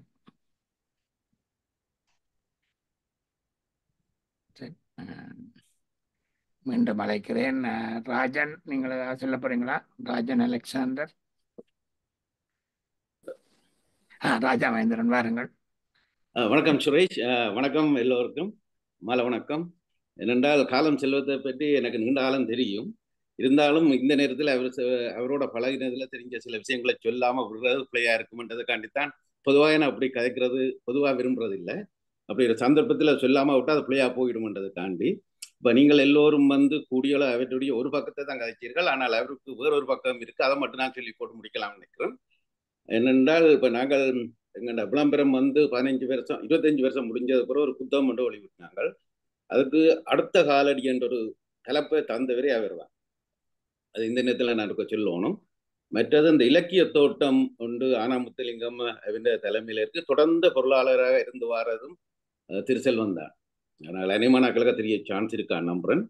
இதை விட இன்னும் ஒரு முக்கியமான விஷயம் என்னென்றால் கடந்த பத்து வருஷத்துக்கு மேலாக நாங்கள் ஒரு அறக்கட்டளை ஒன்று செய்து வருகிறோம் அதில் அது வந்து அறக்கட்டளை என்றால் என்ன செய்கிறோம்ன்றா இலங்கையில் உள்ள பிள்ளைகளுக்கு இலங்கையில முழு பகுதியிலும் உள்ள கூடிய அளவு தமிழ் பிள்ளைகளுக்கு அவையில் நிறைஞ்ச கெட்டித்தனம் இல்லாமல் இருக்கும். ஆனால் அவைக்கு போதிய அளவு பண வலிமை இல்லாதால தங்களுடைய படிப்புகளை தொடராமல் இருக்கிற பிள்ளைகளை நாங்கள் தெரிவு செய்து இங்கே ஒன்பது பேர் இருக்கிறோம். அதில் ஒரு முக்கியமான ஆளாக வெறும் இருந்து வருவார் மற்ற இலங்கையிலையும் ஒன்பது பேர் இருக்கிறோம் இது வரையில எங்கிட்ட இருந்து ஐம்பதுக்கும் மேற்பட்ட யூனிவர்சிட்டி ஸ்டூடெண்ட்ஸ் கிராஜுவேட் பண்ணிட்டோம் இப்போ நூற்றி ஐம்பத்தஞ்சு பேர் யூனிவர்சிட்டியில் இருக்கணும். அதை விட முந்நூற்றி நாற்பத்தஞ்சு பேர் முந்நூறு பேருக்கிட்ட அஞ்சாம் வகுப்பிலிருந்து பன்னிரெண்டாம் வகுப்பு மட்டும் படித்து கொண்டிருக்கணும் அப்போ நாங்கள் இந்த இதை வந்து ஒவ்வொரு கிழமையும் ரெண்டு தரம் சந்தித்து என்ன மாதிரி நாங்கள் ஆக்கப்பூர்வமாக செய்யலாம்ன்றதை செய்து கொண்டு வரோம். அப்போ இது இது இதில் ஒரு முக்கிய அங்கத்தவராக இருக்கிறதுல காலம் செல்வம் வருது அப்போ நாங்கள் அடிக்கடி சந்திக்கக்கூடியதாக இருக்கிறது. அப்போ இந்த சந்தர்ப்பத்தில் நீங்கள் எல்லோருமே ஒரு இலக்கியவாதி என்று தெரிஞ்சிருந்தாலும் இதுக்கு பிறகு ஒரு வேறு பக்கம் இருக்கின்றதை நான் இந்த நேரத்தில் சொல்லணும். மற்றது இவர் ஒரு இடது இடதுசாரி கொள்கைகளை கொண்டு வருகின்றபடியால் இன்றைக்கு வந்து சேகோரான்ற பிறந்த நாள் ஒன்றுடைய சிவரால அந்த ஒரு சின்ன ஒரு கவிதையை மட்டும் சொல்லி போட்டு நான் என்னுடைய இதை முடிக்கிறேன். இப்போ நாங்கள் விதைத்தவன் உறங்கினாலும் விதைகள் ஒருபோதும் உறங்குவதில் ஏண்டு இருக்குது. அதை விட விதைத்து கொண்டே இரு முளைத்தால் மரம் இல்லையல் உரம். அதே மாதிரி தான் எங்கள்ட பிள்ளைகளுக்கு நாங்கள் செய்கிறது. அதான் பிள்ளைகள் என்று நான் சொல்றது எங்களோட நாங்கள் படிப்பிக்கிற பிள்ளைகள். அவர்கள் நல்ல வந்தால் தான் எங்கள்ட சமுதாயம் தொடர்ந்து வளருமென்றதுக்கு இது ஒரு உதாரணம். மற்றது இந்த செல்வத்துக்கு செல்வத்தின் என்னென்னு சொல்லலாம். அதுகிட்ட சேவை வந்து தொடரணும் வந்து நான் எல்லாம் எல்லாரும் வேண்டி விட வருகிறேன் நன்றி வணக்கம். நன்றி ராஜா மகேந்திரன் அவர்கள். வாருங்கள் செல்வம் செல்லம் எனக்கு மகேந்திரன் வந்தது நல்ல ஒரு நினைப்பூட்டுற ஒரு நிகழ்ச்சி. இது இதுக்குள்ள சந்தர்ப்பம் இல்லை. நான் இப்போ நான் எந்த சக எழுத்தாளர்கள் நீங்கள் எல்லாரும் என்னோட இருக்கிற சக எழுத்தாளர்கள். இப்போ நான் இப்போ சொன்னேன் ஒரு கவிதை சொன்னேன் தானே இந்த நாளடியார். சேர்க்க செயல் நீங்கும் புல் போல. இந்த உலகத்தில் நாங்கள் உண்மையில நிரந்தரம் இல்லாத வாழ்க்கை. நான் இந்த கிறிஸ்டியானிட்டி அடிப்படை என்று இல்லை. நிரந்தரம் நீங்கள் சொர்க்கம் நிறத்தை பற்றி கூட கதைக்கே இல்லை. இப்போ இதுக்குள்ள வந்து நான் இப்போ உண்மையில இலக்கிய தோட்டத்தின் அவர் சொன்னபடியே சொன்னார் அவர் ஸ்தாபித்ததில் நானும் மகாலிங்கம் முக்கியமான ஆட்கள். அதில் அதில் வந்து இப்போ வேலை செய்கிறது ஒன்றும் இல்லை. அது வருஷத்துக்கு ஒன்று நடக்குது. இப்போ தேடகம் என்றது இல்லை ஸ்தாபிச்சதுல அப்புறம் அதுவும் எப்பாலும் ஒன்று செய்கிறது. ஆனா இப்ப என்னுடைய என்னுடைய இது என்னென்று சொன்னால் அறம் செய்ய என்னால் முடியாட்டாலும் அறம் செய்கிற ஒரு துணை செய்யணும். அப்போ நாங்கள் வந்து ஒரு இப்போ கேள்வி இப்போ ஒரு எந்த நண்பர் ஒரு ஆள் அவர் ஒரு உண்மையிலே ஒரு வாசகனோ படிப்பான்னு சொல்லி அவர் ஒரு நல்ல மனுஷன். அவங்களுக்கு தெரிஞ்சிருக்க நியாயம் இல்லை. அவர் தொழில் எல்லாம் வேறு. அவர் வந்து ஒரு நாலஞ்சு பிள்ளைகளுக்கு தண்ட கதை சக்கர ரயிலர் ஓடுறவர். அவர் உதவி செய்ய வழி கிடைக்க அவரோட பின்னல் மாதிரி கோப்பி குடிக்க போயிருக்க தான் அவர் அப்படி செய்தார். அவருக்கு மேலும் மேலும் மேலும் இந்த ஆட்கள் உதவி கேட்டு வேண்டது அதாவது வறுமையான புள்ளிகள் யுத்தம் முடிஞ்ச கையோடு அங்கிருந்து வந்து வறுமையான ஆட்கள் தாய் இல்லாத திருப்பன் இல்லாத புள்ளிகள் அப்படியான உதவி செய்ய வழி கிடைக்க தான் மகேந்திரன் மகேந்திரன் எனக்கு அப்பப்போ தெரியும். நல்ல மனுஷன்னா நல்ல ஆள் உதவி செய்யக்கூடிய ஆள். நான் காலத்துக்கு கண்டு போட்டால் கட்டாயம் போனால் ஏதாவது கட்டாயம் தருவார். அப்போ அந்த நாளிலேயே. அப்போ அவரோடைய காய்ச்சி கொண்டு செய்ய அவருக்கும் இது வந்தது. தன் மகேந்திரன் சொன்ன செல்வ நல்ல ஒரு விஷயம்தான் நாங்கள் செய்கிறோம். என்னுடைய வாழ்க்கையின் எஞ்சிய காலங்கள் இதுதான் என்ற பெரிய விஷயமா இருக்கும் கிட்டத்தட்ட இப்போ ஐநூறு மாணவர்கள் மாதம் கனடியன் காசு தான் தொண்ணூறு வீதம் பதினஞ்சு லட்சம் ரூபாய் இலங்கை காசு அப்படி ஒரு அமைப்பு இருக்குது. இதுக்கு நான் காசு கொடுக்காட்டாலும் இப்படி வேறு செய்கிற வழிக்கு நான் சப்போர்ட் கொடுக்கணும். அதை விட வேறு என்ன என்னால் செய்ய முடியும்னு உதாரணத்துக்கு நான் இப்போ சொல்கிற செய்கிற மகேந்திரனுக்கு அறுபத்தஞ்சாவது பிறந்த நாள் வந்தது. உங்களுக்கு தெரிஞ்சிருக்குமோ தெரியாது. மகேந்திரன் வந்து இந்த ஒரு அவருடைய வட்டம் பெரிய வட்டம். அவர் இந்த வீடு வித்தவர் அந்த ஈட்டிஎம் அதுகளால் அவருக்கு அனைவரு தெரியும். அவர் தனக்கு சேர்ந்து அவ்வளோ பணத்தையும் இந்த அறக்குறைக்கே கொடுத்தார் அப்போ நான் நினைக்கிறேன்டா இப்படி இப்படி சேர்ந்து தெரிகிறது வந்து என்னவோ ஒரு எங்களுக்கு ஒரு புண்ணியமாக போகும். ஒரு என்னென்னு சொன்னால் உண்மையில் வறுமையும் திறமையும் உள்ள பிள்ளைகள் கன பேர் அங்கே இருக்கிறேன் நூற்றி நாற்பது யூனிவர்சிட்டி படி அங்கே இருக்கிறாங்க. அவங்களோட அது அப்ளிகேஷனை பார்த்தா உங்களுக்கு தெரியும் அடுத்த நேர சாப்பாட்டுக்கு வழி இல்லாதாங்க இந்த உதவி கிடைக்காட்டால் அவங்க இப்போ யூனிவர்சிட்டி போக முடியாத ஆட்களை தேடி பிடிச்சு இப்போ அந்த இந்த செய்கிற அந்த அறக்கட்டைகளால் கிட்டத்தட்ட பதிமூன்று டாக்டர் மேலே பத்து வருஷம் முன்பு. ஒரு பதினாலு பதினஞ்சு இன்ஜினியர்ஸ் வந்து மற்றது க கலைத்துறையை சேர்ந்தார்கள். நிர்வாகத்துறையை சேர்ந்தார்கள். கிட்டத்தட்ட ஒரு முப்பது பேர் நாற்பது வெளியில் வந்துட்டுங்க அப்போ ஒரு பிரியோசமான விஷயமா எனக்கு படுகுது அதனால் இப்போ உங்களுக்கு இதில் சந்தர்ப்பம் கிடைச்சது. இப்படியான விஷயங்களும் இங்கே நடந்து கொண்டு தான் இருக்குது. இப்போ இலக்கியம் இலக்கியத்தை தாண்டி நான் வந்து சொன்னேன் இலக்கியம் இலக்கியம் என்று சொன்னால் நான் ஒன்று சொன்னால் அந்த அதுக்கு நாங்கள் அதை பத்மநாப ஐயருக்கு இப்போ முந்தி இவ்வளோ செலவழிக்கிறீங்களா ஐயர். உங்களுக்கு வந்து பென்ஷன் தான் வருகிறது. நீங்கள் வந்து இவ்வளவு புத்தகங்களை செலவழிக்கிறீங்க இப்போ யார்கிட்டையும் காசு கேட்குறீங்க. அப்போ நீங்கள் என்னதுக்கு இது இப்படின்றீங்களா என்னன்னா தான் அவர் சொன்னார். செல்வம் இன்றைக்கு எங்கட மக்கள் எல்லாம் போராட்டத்திலும் வறுமையிலும் இருக்கணும் நான் யாழ்ப்பாணத்துக்கு நீங்கள் போக முடியாது. அப்போ இது தொடர்பாக தமிழுக்கு நான் என்ன செய்யலாம்? தமிழர் சார்ந்த வாழ்வுக்கு நான் என்ன செய்யலாம்? இல்லை ஐயர்? ஆனால் அப்போ அதான் இதை செய்து கொண்டு இருக்கிறேன் புத்தகங்கள் வந்து முக்கியமானது. சமூகத்தின் ஒரு முக்கியமான இது. அண்டு அப்படி சொன்னேன் அப்படித்தான் நானும் இதை வந்து ஒரு பெரிய பெரிதாக இல்லாட்டாலும் இந்த இந்த இந்த பிள்ளைகளுக்கு ஏதாவது என்னாலும் சின்ன பங்களிப்பு கிடைக்கட்டும் என்று. இரண்டாவது அவையின் கடிதங்கள் அது எல்லாம் எங்களுக்கு கிடைக்கும். அது மாவைக்கு இந்த இது கிடைச்சி. இப்போ இந்த முறையெல்லாம் நேற்று போனான் அந்த கூட்டத்துக்கு இந்த எங்க நாங்கள் காசு கொடுத்து படிப்பிடிக்கிற பிள்ளைகளில் பதிமூன்று பேருக்கு த்ரீ ஏ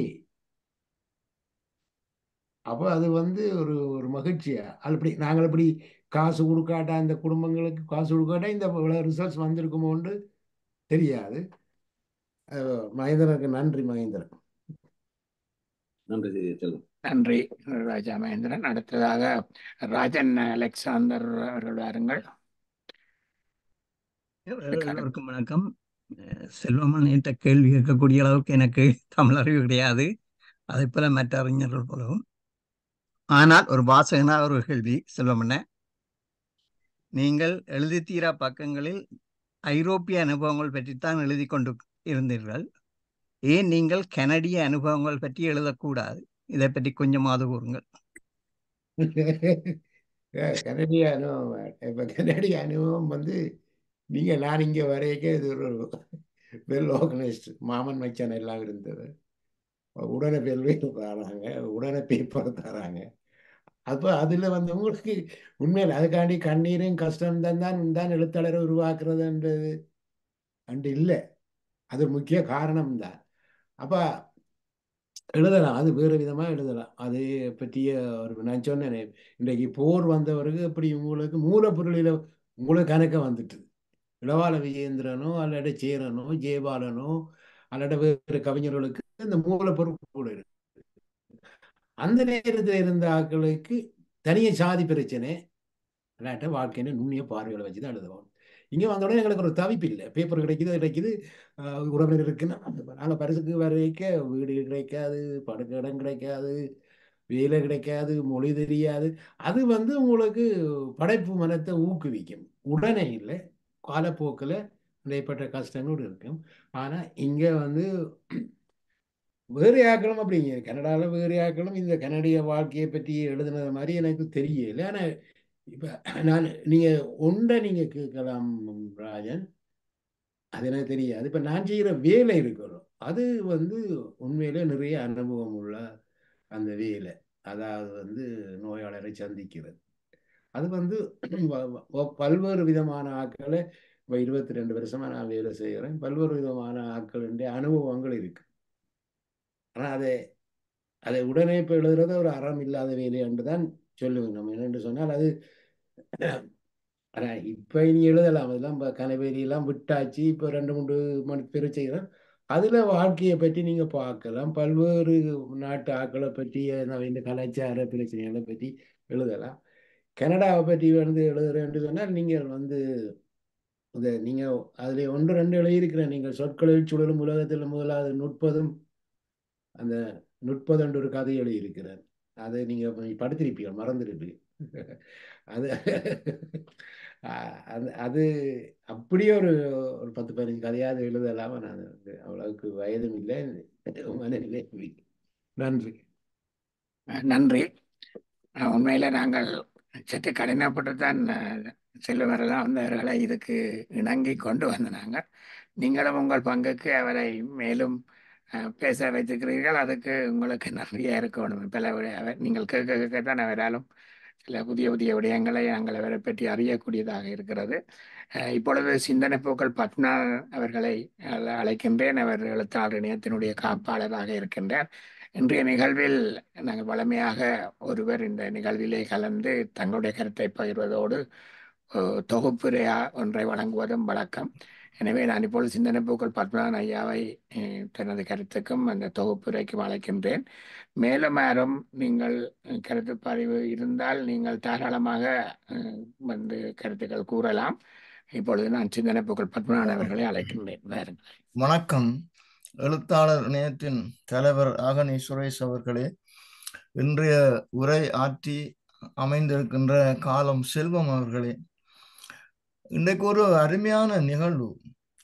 வெறுமனே இவ்வளவு காலமும் ஒவ்வொரு எழுத்தாளர்களும் தங்களுடைய பிற்பலங்கள் கடந்த கால வாழ்க்கை படித்த பள்ளிக்கூடம் அப்படித்தான் ஆரம்பித்து சொல்லிக்கொண்டே இருப்பார்கள். இன்றைக்கு ஒரு முற்றிலும் இலக்கியம் சார்ந்த ஒரு படைப்பை இலக்கியம் சார்ந்த ஒரு பார்வையை நீங்கள் பார்த்ததற்கு மிகவும் நன்றி சொல்ல விரும்புகிறேன். எனக்கு மிகவும் பிடித்தது உங்களுடைய பெயர்? காலம் செல்வம் என்றால் ரெண்டும் மிக முக்கியமான வார்த்தைகள். ஐன்ஸ்டீன் ஒரு நூலை எழுதியிருக்கிறார். அதை சொல்லுவது எபவுட் டைம் ஆயிரத்தி தொள்ளாயிரத்தி தொண்ணூற்றி அஞ்சில் தான் அவர் அந்த புத்தகம் எழுதி உலக பிரசித்தி பெற்ற ஒரு நூல் எபவுட் டைம் அதற்கு முன்பேயே காலம் என்ற ஒரு அருமையான பெயரில் நீங்கள் தெரிவு செய்து இந்த சஞ்சிகையை வெளியிட்டதனால் உங்களோடு காலமும் ஒட்டி கொண்டது அது மட்டுமல்ல உங்களுடைய பெயர் செல்வம் என்ற அந்த பெயரும் சேர்ந்து இன்றைக்கு உலகத்திலே தமிழ் வா மக்கள் வாழுகின்ற எந்த நாட்டிலும் காலம் செல்வம் என்கின்ற அந்த அடையாளம் உங்களுக்கு உரியதாக இருக்கிறது. இதான் என்னுடைய முதலாவது கருத்து. அதாவது மிக அருமையான ஒரு பெயரோடு நீங்கள் வாழுகிறீர்கள். அடுத்ததாக பலர் கூறிய மாதிரி எழுத்தாளராக இருக்கலாம். பல நிறுவனங்களுடைய ஆரம்பகர்த்தாவாக இருக்கலாம். நகைச்சுவையாளராக இருக்கலாம். சிறந்த நாட்டுக்கூத்து விற்பனராக இருக்கலாம். இப்படி உங்களுக்குள் பல ஆளுமைகள் இருந்தது உண்மை. உன் உன்னுடைய படைப்புலகம். அதாவது சில்லாலை என்கின்ற ஊரில் இருந்து நீங்கள் புறப்பட்டு சென்னென்று கற்று பிரான்ஸ் தேசத்திலே வாழ்ந்த பொழுதுதான் உங்களுக்கு இந்த இலக்கியத்திற்கான அடித்தளம் அமைக்கப்பட்டது என்று நான் கருதுகிறேன். அங்கே இருந்த ஈரோஸ் இயக்கத்திலே நீங்கள் ஆரம்பத்திலே இடதுசாரி கொள்கையினாலே கவரப்பட்டு அதிலே ஈடுபட்டு அதனால்தான் நீங்கள் நான் என்கின்ற எழுபத்தி நான் என்கின்ற ஒரு சஞ்சிகையிலே எழுதிய கவிதை பலருக்கு தெரியாமல் இருக்கக்கூடும் அதை வாசிக்கின்றேன். நீங்கள் எந்த பெரிய ஒரு கவிஞர் என்பதை இந்த வசனம் உணர்த்தப் போகிறது. கட்டிட காடு என்கின்ற அந்த நூலிலே கவிதையிலே நீங்கள் எழுதியிருக்கிறீர்கள். செவ்வரத்தம்பூ மறந்தேன். இப்பொழுது நீங்கள் அதை மறந்து விட்டீர்களோ தெரியாது. செவ்வரத்தம் பூ மறந்தேன். செவ்வுள நீர் நிறம் மறந்தேன். கனவு பணம் தேட கடல் கடந்தேன். அகதி தரையில் முகமுழந்தேன் குந்தி இருக்கவோர் நிலம் குறித்து காட்டுவோர் வெண்பூமி என்ற ஒரு அருமையான பாடலை அப்ப அப்பொழுது இருக்கிறீர்கள். எழுபத்தஞ்சுகளில கட்டடக்காடு என்கின்ற அந்த கவிதை தொகுதியில எழுதியிருக்கிறீர்கள். அப்ப நான் யோசித்தேன் இந்த கவிஞர்களுக்கெல்லாம் மிக மிக முன்னோடியாக பிரான்ஸ் தேசத்தில் இருந்து புறப்பட்ட நீங்கள் கவிதைகளை விட்டுவிட்டு அதிலே அந்த பக்கமே போகாமல் சஞ்சிகை வாழ்க்கையை ஆரம்பித்து விட்டீர்கள். அதனாலே உங்களுடைய கவிதை பக்கம் எங்களுக்கு தெரியவில்லை. உண்மையில் நீங்கள் பல சந்தர்ப்பங்களில் கூறிய கருத்து மிகவும் முக்கியம். விதி விதி சமைப்போர்தான் இலக்கியத்தில் இயங்க முடியும் என்ற ஒரு கருத்தை நீங்கள் ஏற்கனவே அனோஜன் ராமகிருஷ்ணன் அவருடைய பேட்டியிலே குறிப்பிட்டிருக்கிறீர்கள். சமயத்தை விட இலக்கியம் எனக்கு முக்கியம் என்று சொல்லி இருக்கிறீர்கள். இலக்கிய வாழ்வு என்னை தத்து எடுத்தது என்று சொல்லியிருக்கிறீர்கள் இதை நீங்கள் எங்கே சொல்லியிருக்கிறீர்கள் என்றால் அகல் என்கின்ற ஒரு சஞ்சிகையிலே ஒரு ராமகிருஷ்ண அவர்களுடைய பேட்டியிலே நீங்கள் கொடுத்த அந்த கருத்தை தான் நானும் குறிப்பிடுகின்றேன். அப்பொழுது நீ உங்களுடைய படைப்பாற்றல் இயல்பாகவே உங்களுக்குள் முகிழ்த்து வந்தது என்றுதான் கருதுவேன். ஏனென்றால் சில்லாலையிலேயோ அல்லது சென்ட் ஆண்ட்ரஸ் காலேஜிலேயோ உருவானது அல்ல. நீங்கள் புறப்பட்டதன் பின்னர் உங்களுடைய பார்வை மிகவும் பரந்து விரிந்து பிரான்ஸ் தேசத்திலே விரிவடைந்துதான் ஒரு மிகச்சிறந்த எழுத்தாளராக மாறினீர்கள். அந்த ஆற்றலோடு நீங்கள் வருகிற பொழுது அதாவது தொண்ணூறுகளிலே இங்கே வருகின்ற பொழுது அந்த சந்தர்ப்பத்திலே எண்பத்தி ஐந்தாம் ஆண்டு தமிழர் ஒளி நிறுவனத்திலே நான் கடமையாற்றி இருக்கிறேன் தமிழ் ஒளி என்கின்ற அந்த சஞ்சிகையினுடைய தொடர்பாக பார்வை என்கின்ற சஞ்சையை அங்கே நீங்கள் நடத்தி இருக்கிறீர்கள் அங்கேதான் ராஜலிங்கம் அவர்கள் இப்பொழுது குறிப்பிட்டிருந்தார்.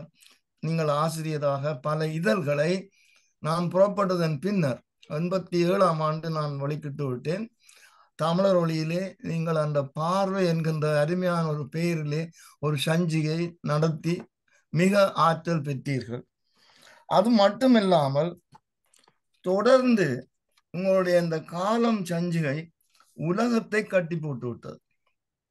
ஏனென்றால் உங்களுக்கு தெரியும் நீங்கள் சொன்னது மாதிரி வெறும் புலம்பெயர்ந்தவர்களை மட்டும் வைத்துக்கொண்டு ஒரு சஞ்சிகையை நடத்த முடியாது. ஆகவேதான் நீங்கள் சிந்தித்து செயல்பட்டிருக்கிறீர்கள்.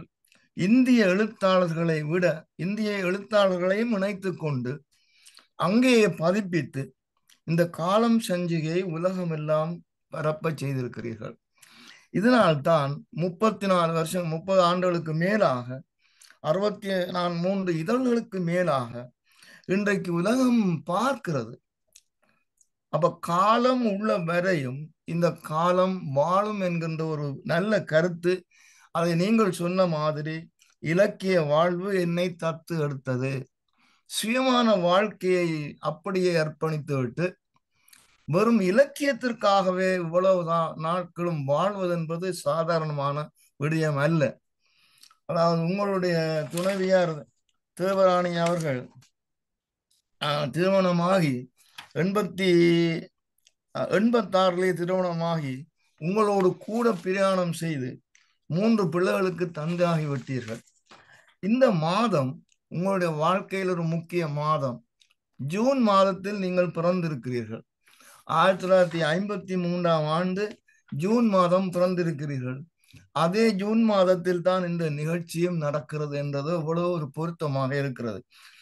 உங்களுடைய வயசுக்கு மீறிய வளர்ச்சி உங்களுடைய ஆற்றலுக்கு மிக மிக மிக கூடுதலான ஆற்றல் எப்படி வந்ததென்று நான் அடிக்கடி வியப்பதுண்டு.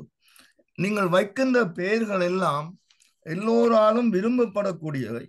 அந்த புத்தக கண்காட்சி அது எங்களுடைய வாழ்க்கையிலே ஏற்படுத்திய பெரிய மாற்றம். அது மட்டுமல்ல நீங்கள் ஆரம்பித்து வைத்த அந்த இலக்கிய தோட்டம் அது கூட எங்களுடைய வாழ்க்கையிலே மிக முக்கியமான ஒரு அத்தியாயத்தை கொண்டு வந்தது. இவ்வளவு நூல்களை இந்தியாவிலிருந்து கட்டி சுமந்து அறிவித்து அழைத்து அதை ஒரு பொருட்காட்சியாக மாற்றிய பெருமை வாழும் தமிழ் என்கின்ற ஒரு பெயரின் கீழ் செய்திருக்கிறீர்கள். நான் அறிந்த வரையில் இந்த மாதிரி முயற்சியை யாரும் மேற்கொள்ளவும் இல்லை மேற்கொள்ளவும் முடியாது. காரணம் அதற்கென்று தனித்திறமை வேண்டும். உங்களுக்கு எல்லா எழுத்தாளர்களையும் தெரிந்திருக்கிறது எல்லா அச்சகங்களையும் தெரிந்திருக்கிறது எல்லா படைப்பாளிகளோடு தொடர்பு இருந்திருக்கிறது. ஆகவேதான் இவ்வளவு நூல்களை குறிப்பிட்ட ஒரு காலத்திலே கொண்டு வந்து அந்த நூல் காட்சியை காட்சிப்படுத்தி இருக்கிறார் இதனாலே இங்கு உள்ள முழு எழுத்தாளர்களும் உங்களுடைய பொருட்காட்சிக்கு வராதவர்கள் இருக்க முடியாது. அந்த அளவுக்கு முதலில் சொன்ன மாதிரி இலக்கிய வாழ்வு என்னை தத்தெடுத்தது என்பதற்கு முற்று முழுதாக பொருத்தமானவர் நீங்கள் தான் அதனால் தான் எழுதி தீரா பக்கங்கள் என்ற அருமையான ஒரு நூல் தாய் வீட்டிலே தொடர்ந்து வந்தது. நான் ஒரு ஒரு தடவைக்கு பல தடவைகள் வாசித்து விட்டு வியப்படைவேன். எப்படி இவர் எழுதுகிறார் என்று வியப்படைவது உண்டு எழுதி தீரா பக்கங்கள் என்கின்ற தலைப்பே ஒரு வித்தியாசமானது. உங்களுடைய ஹாஸ்யமான நகைச்சுவையான எழுத்து மிகவும் கவர்ந்தது. அது நூலாக வந்த பொழுது மீண்டும் அதை நூலாக வாசிக்கக்கூடிய பாக்கியம் எங்களுக்கு கிடைத்தது. அதே மாதிரி சொற்களில் சுழலும் உலகம் அற்புதமான ஒரு பெயரிலே அந்த நூலை வெளியிட்டிருக்கிறீர்கள். உண்மையில் தாய் வீடு அந்த எடுத்தவுடன் நான் ஏற்கனவே உங்களுக்கு கூறியிருப்பனோ தெரியவில்லை. முதலில் அந்த பக்கத்தை தட்டுவேன். இது பொய் சொல்வதற்காக இல்லை அந்த பக்கத்தை படித்து விட்டு ஏனைய கட்டுரைகளை படிப்பது என்னுடைய வழக்கமாக இருந்திருக்கிறது அந்த பிரான்சேசத்திலே நீங்கள் பட்ட அனுபவங்கள் எங்களை அப்படியே பிரான்ஸ் தேசத்துக்கு கொண்டு போய் விட்டுவிடும்.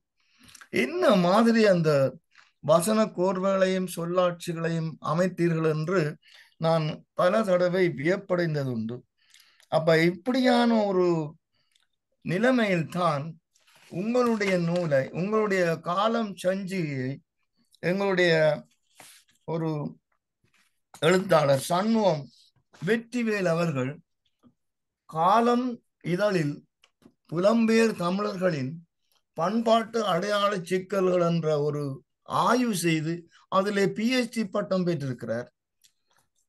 என்னுடைய ஒரே ஒரு கட்டுரையை நீங்கள் அந்த நேரம் விரும்பி உங்களுடைய காலம் செஞ்சையில் சேர்த்து கொண்டீர்கள். இளையோர் பிரச்சனைகள். அந்த கட்டுரையை அவர் விரும்பி அப்படியே மாற்றாமல் முழுவதும் ஆக அந்த காலம் சஞ்சிகையிலே பதிப்பித்திருக்கிறார். அது வாழ்நாள் பூராவும் ஒரு பெரிய நன்றி கடன். காலம் சஞ்சிகையில் எழுதப்பட்ட என்னுடைய ஒரு கட்டுரை அவருடைய நூலில் பிஹெச்டி கட்டுரையிலும் இடம்பெற்றிருக்கிறது. ஆனால் அது புலம்பெயர்ந்த தமிழர்கள் என்று சொல்லி நாங்கள் சொன்னாலும் கூட விரல் விட்டு எண்ணக்கூடிய ஒரு சிறலால் தான் நாங்கள் வாழ்ந்து கொண்டிருக்கிறோம் இலக்கியம் வாழ்கிறது. அப்ப இந்த சேவையை இது ஒரு சேவை என்றுதான் கூற வேண்டும்.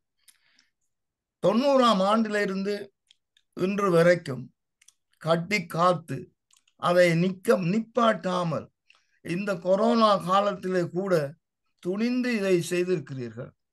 இந்த பெருமை தமிழ் மக்களாகிய எங்களுக்கு மிகவும் ஒரு பெரிய கட் அற அற அற விஷயமாக இருக்கிறது.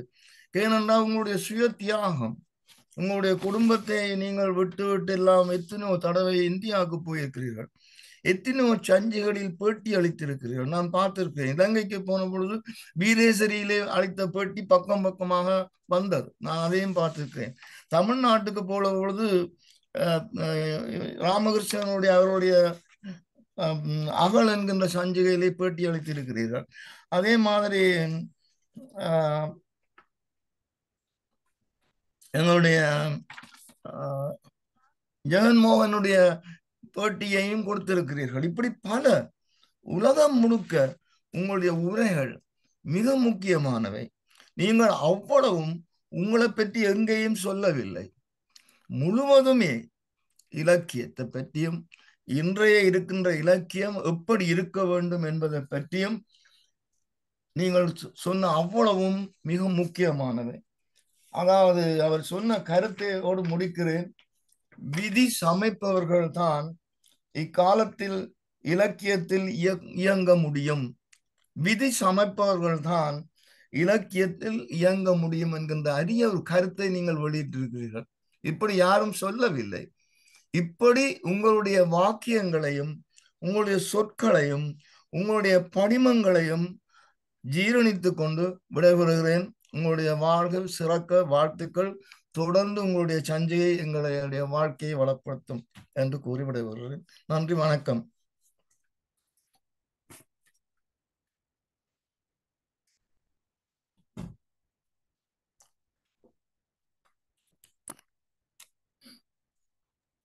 அகனை நீங்கள் மியூட்ல இருக்கிறீங்கள் மன்னிக்கவும். நன்றி சிந்தனை புகழ் பத்மநாதன் அவர்கள். வாருங்கள் செல்வம். அவரும் அவரும் மியூட் பண்ணுவோம். அன்மியூட் பண்ணுவோம். செல்வம் அன்மியூட் பண்ணும் ஓகே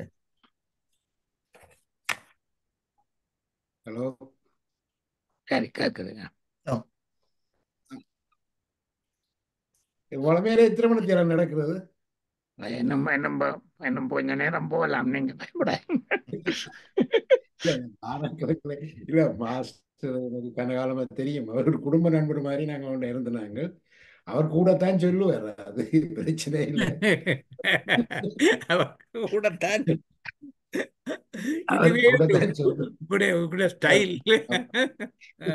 எழுத்து பாணி. கூடத்தான் சொல்லுவார். அவர் அற்புதமான மனுஷன். அவர் நீண்ட காலமா எடுத்து புத்தகம் கொண்டு என்ன போல திரிகிற ஒரு ஆள். அப்போ அப்போ நாங்கள் அவங்க வீட்டுக்கிட்ட இருந்த நாங்கள் ஒரு டைமில் நான் வந்த காலத்திலே இவர் கேள்விப்பட்டு அவரை நான் எனக்கு செழியன் அவரை சொல்லி இவரை சந்திச்சேன் நான்.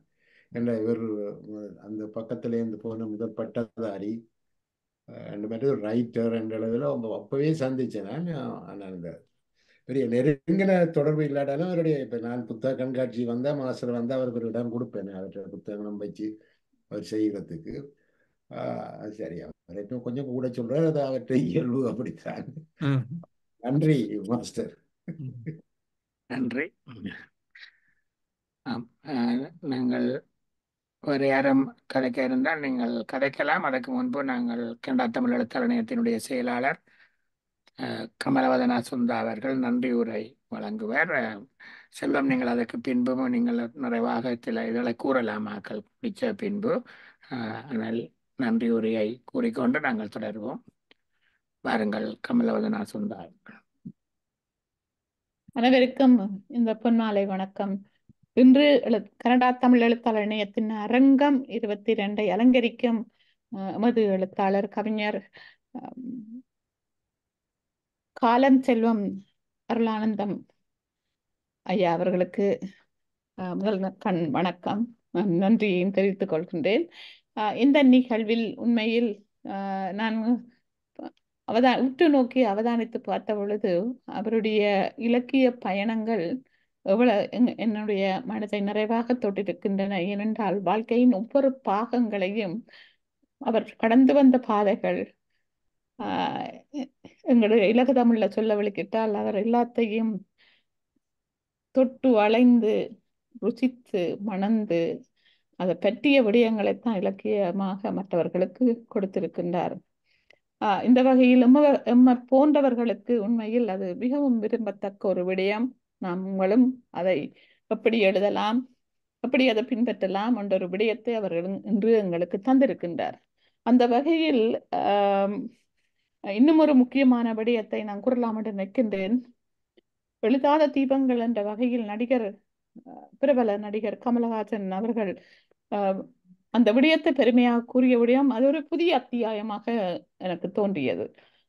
அப்படியான விடயங்கள் இன்னும் சில இடத்தில் எத்தனை எத்தனையோ எழுத்தாளர்கள் கவிஞர்கள் பேரறிஞர்கள் இருந்தாலும் கூட சில விடயங்கள் மறை மறைந்த பொருட்களாக இருக்கின்றன. இப்படியான விடயங்கள் இந்த எழுத்தாளர் இணையம் வந்து அவைகளை வெளியால கொண்டு வரும் பொழுது தெரிந்ததை கூட தெரியாதவர்களுக்கும் அதை தெரியப்படுத்துவதுதான் உண்மையான முக்கியமான நோக்கம். இந்த வகையில் உமது தலைவர் அஹ், இந்த விடயத்தை நி- நிகழ்வா மிகவும் ஆராய்ந்து நுணுக்கமாக ஒவ்வொருவரையும் இந்த அரங்கிலே கொண்டு வந்து நிப்பாட்டுவது மிக பெருமைக்குரிய விடயம்.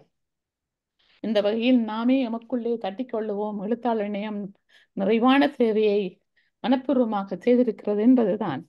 அடுத்தது இன்னும் ஒரு விடயத்தை நான் பெருமையாக சொல்லுகின்றேன் ஜூன் மாதம் பிறந்தபடியால் அவருடைய ஜூன் அரங்கத்திலே அவர் இன்று பங்கு பெற்றுக் கொள்கிறார் என்பது மிகவும் நல்லொரு ஆஹ், சுவாரஸ்யமான ஒரு விடயமாக இருந்தது. மற்றது இன்னொரு கவிதையின் இந்த இரண்டு வரிகளை நான் அவதானித்தேன். செவ்வரத்தம் பூ மணந்தேன் செவ்விளநீர் தான் மறந்தேன் என்ற அந்த அடியை சொல்லும் பொழுது நாம் எல்லோருமே கடந்த யுத்த கால பகுதியில் அவ்வளவத்தை கடந்து வந்தவர்கள் நாம். ஆகவே இந்த ஒவ்வொரு வரிகளும் ஒவ்வொருவர் இடத்திலிருந்து வரும் பொழுது உண்மையில் அந்த வழி எல்லோருக்குமே உரியதுதான். ஆனா அவர் இந்த கவிதை வடிவில் எங்களுக்கு சமர்ப்பித்தது மிக மிக நன்றியும் வாழ்த்துக்களையும் தெரிவித்துக் கொள்கின்றேன். அடுத்ததாக இன்றைய நிகழ்வில் ஆஹ், பங்கு கொண்ட அத்தனை எழுத்தாளர்கள் பேராசிரியர்கள் கவிஞர்கள் ஆஹ், இலக்கியவாதிகள் அனைத்து அன்பு உள்ளங்களுக்கும் நன்றியையும் வாழ்த்துக்களையும் தெரிவித்துக் கொண்டு இதே இது நாங்கள் கல ஆஹ், கனடா தமிழ் எழுத்தாளர் இணையம் நிறைவாக செய்யும் ஒரு பகுதி. இதில் நீங்கள் பார்வையாளராக இருக்காமல் ஒரு பங்காளிகளாக எதிர் மீது வரும் காலங்களில் இணைந்து நிறைந்த சேவையை எம்மோடு இணைந்து செய்ய வேண்டும் என்று கூறிக்கொண்டு உங்கள் அனைவரிடமிருந்து விடைபெற்றுக் கொள்கிறேன்.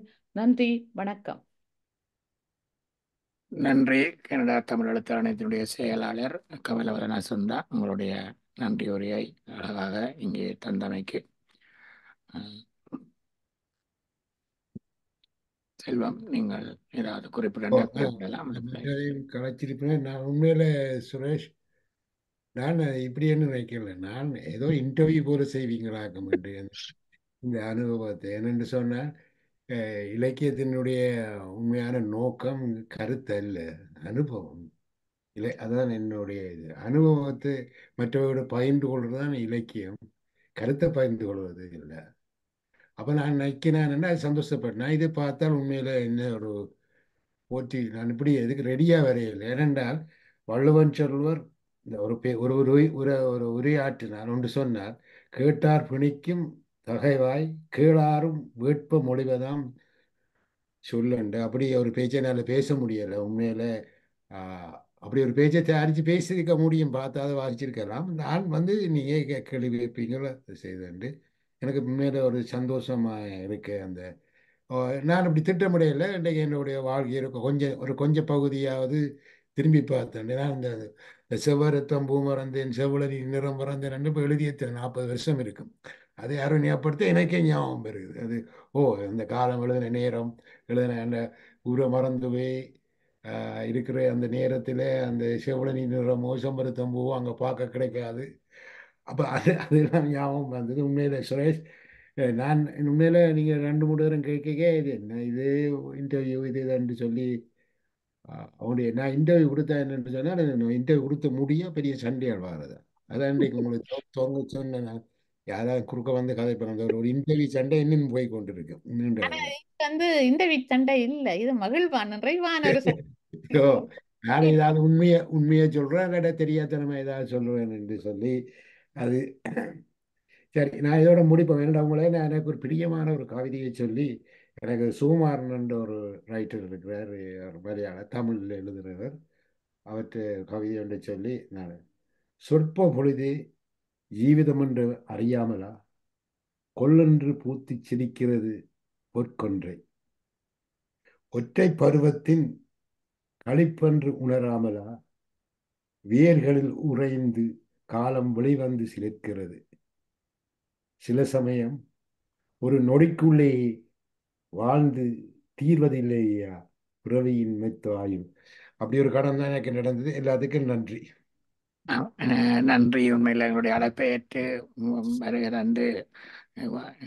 உங்களை பெ- அதாவது நான் இந்த எழுத்தாளர் அரங்கத்தில் நாங்கள் அழைக்கின்ற பொழுது நாங்கள் எந்த ஒரு வரிசையையும் பின்பற்றி எழுத்தாளர்களை அழைக்கவில்லை. எங்களுடைய நோய் இருந்தால் அந்தந்த நேரத்தில் யாருக்கு அவர்களுக்கு நேரம் இருக்க வேண்டும். அப்படி பல விடயங்கள் இருக்கிறது. எனவே எழுத்தாளர்களாக அது எந்த விதத்திலும் இந்த இலக்கிய அவர்கள் எழுத்தாளர்களோ அல்லது கலைஞர்களோ இங்கே எங்களோடு வாழ்ந்து கொண்டிருக்கின்ற பொழுது அவர்களை பற்றிய அவர்களுடைய படைப்புகளை பற்றியும் அவருடைய எழுத்து பயணத்தை இலக்கிய பயணத்தை பதிவு செய்ய வேண்டும் என்ற ஒரு நோக்கில் நடந்து கொண்டிருக்கிறது. எனவே இன்னும் பலர் இருக்கிறார்கள் பலரை அழைத்து கொண்டிருக்கின்றோம். இதில் எந்த விதமான ஒழுங்கு வரிசையிலும் நாங்கள் அழைக்கவில்லை. இன்னும் எல்லோருடைய பதிவுகளும் எங்களிடம் இருக்கும்போது எதிர்காலத்தில் இதை ப- பலரும் ஒரு நூல் வடிவில் கொண்டு வரலாம் அல்லது எதுக்கும் எங்களுக்கு பயனுள்ளதாக இருக்கும். அந்த வகையில் நாங்கள் இந்த எழுத்தாளர் அரங்கத்தில் எல்லா எழுத்தாளர்களும் பங்கு பெற்றி தங்களுடைய பயணத்தையும் ப- படைப்புகளை பற்றியும் பதிவு செய்ய வேண்டும் என்பதே என்னுடைய நோக்கம். இது தொடர்ந்து எடுத்து செல்லப்படும் என்று நான் திடமாக நம்புகின்றேன். அதே நேரத்தில் என்னும் ஒரு செய்தியையும் நான் உங்களோடு பகிர்ந்து கொள்ள விரும்புகின்றேன். அதாவது இதுவரை காலமும் நாங்கள் இருபத்தி ரெண்டு எழுத்தாளர்களை இங்கு அழைத்து பேச வச்சிருக்கின்றோம். அதே நேரத்தில் இந்த நாட்டிலே வாழ்ந்து பல படைப்புகளை செய்த பல பெரியோர்கள் இப்பொழுது எங்களுடன் வ- இல்லாமல் இருக்கிறார்கள்.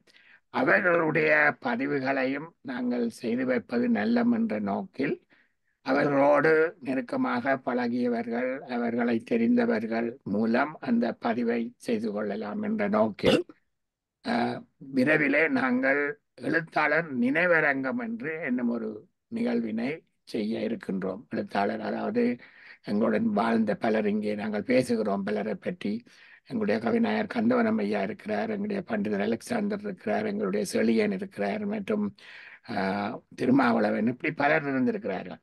இவர்களுடைய வ- விரலை பற்றிய விவரங்களை அவர்கள் நன்கு தெரிந்தவர்கள் இருக்கும்போது அவர்களால் சொல்ல முடியும். எனவே அதையும் பதிவு செய்ய வேண்டும் என்ற நோக்கில் எழுத்தாளர் நினைவரங்கம் என்று இன்னும் ஒரு நிகழ்ச்சியை செய்ய இருக்கிறோம். அதை நாங்கள் கைநா கவிநாயர் கந்தவனம் அவர்களுக்கு அவர்களோட அவர்களோடு இருந்து தொடங்கலாம் என்று இருக்கின்றோம். அது பற்றிய அறிவித்தல் விரைவில் உங்களுக்கு வரும்.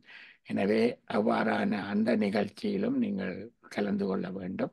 என்று கேட்டுக்கொள்கிறேன். நான் நினைக்கிறேன் வேறு யாரும் இங்கு அஹ், கருத்து கூற விரும்பினால் நீங்கள் வரலாம். ஆனால் நான் நினைக்கவில்லை. அல்லது நினைக்கிறேன் பேராசிரியர் சுப்பிரமணியம் ஐயா நீங்கள் மீண்டும் ஏதாவது கூற இருந்தால் தாராளமாக கூறலாம். நாங்கள் நிறைவு செய்வதற்கு முன்பு. இதற்கு முன்னும் ஒன்று கூற விரும்புகின்றேன். நீங்க சொன்னது சொல்லி கடைசியில முடிச்சீங்க ஒரு மனிதர்கள் வாழும் போதுதான் வாழ்த்த வேண்டும். மறைந்த பிறகு நாங்கள் நினைவஞ்சலி செலுத்துறது சரி. நான் வாழும்போது அது நாங்கள் எடுத்த இந்த முயற்சி உண்மையில மிகவும் வரப்பிரசாதமானதும் மற்றது ஒரு டாக்குமெண்டரி என்ன எல்லாத்தையும் பதிவில் வச்சிருக்கிறதுக்கு அஹ், ஒரு உரிய ஒரு சாதனை பெட்டி என்று தான் நான் சொல்றேன். செல்வம் உங்களோட முகத்தை கொஞ்சம் உயர்த்த வேணும் கீழே போயிட்டுது.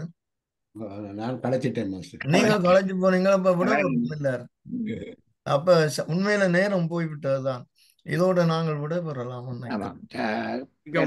சுப்பிரமணிய நீங்கள் ஒரே ஒரு வசனம் மட்டும் நீங்கள். கடைசியாக சொன்னீர்களே எழுத்தாளர் இணையத்தினுடைய அடுத்த பங்களிப்பாக நினைவரங்கம் பற்றி தொடங்கும். அது முக்கியமான விஷயம். ஏனென்றால் கன பேர்களை நாங்கள் பதிவு செய்து வைக்க வேண்டிய தேவை இருக்கிறது. நீங்கள் சொன்ன அத்தனை பேர் அதிபர் கனசவாதிகள் அவர்கள் உட்பட இவர்களை பற்றி இன்றைய தலைமுறைக்கு நாங்கள் அறிவு செய்து வைக்க வேண்டிய தேவை இருக்கிறது நல்லது. காலஞ்செல்வம் அவர்கள் தன்னுடைய இந்த இலக்கிய பணியை இன்னும் தொடர வேண்டும். அவரே வாழ்க்கையை இலக்கியமாக கொண்டவர் இலக்கியத்துக்கு தன்னை கொடுத்தவர்.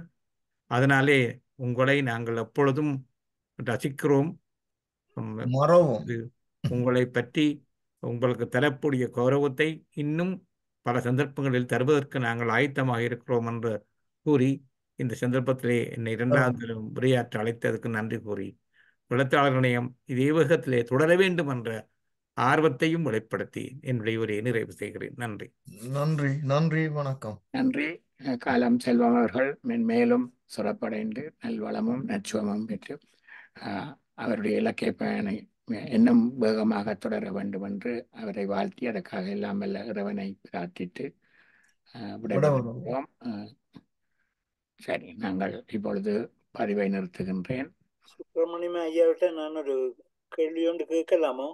ஆறு கேட்குறீங்கள் நான் சோக்கல்ல சண்முகம் ஐயா. சோக்குல சொல்லுங்க ஐயா. இப்போ என்னன்னா இந்த எனக்கு ஒரு வேற ஒரு விதமான கேள்வி ஒன்று இருக்கு. இந்த தேவாரத்தில்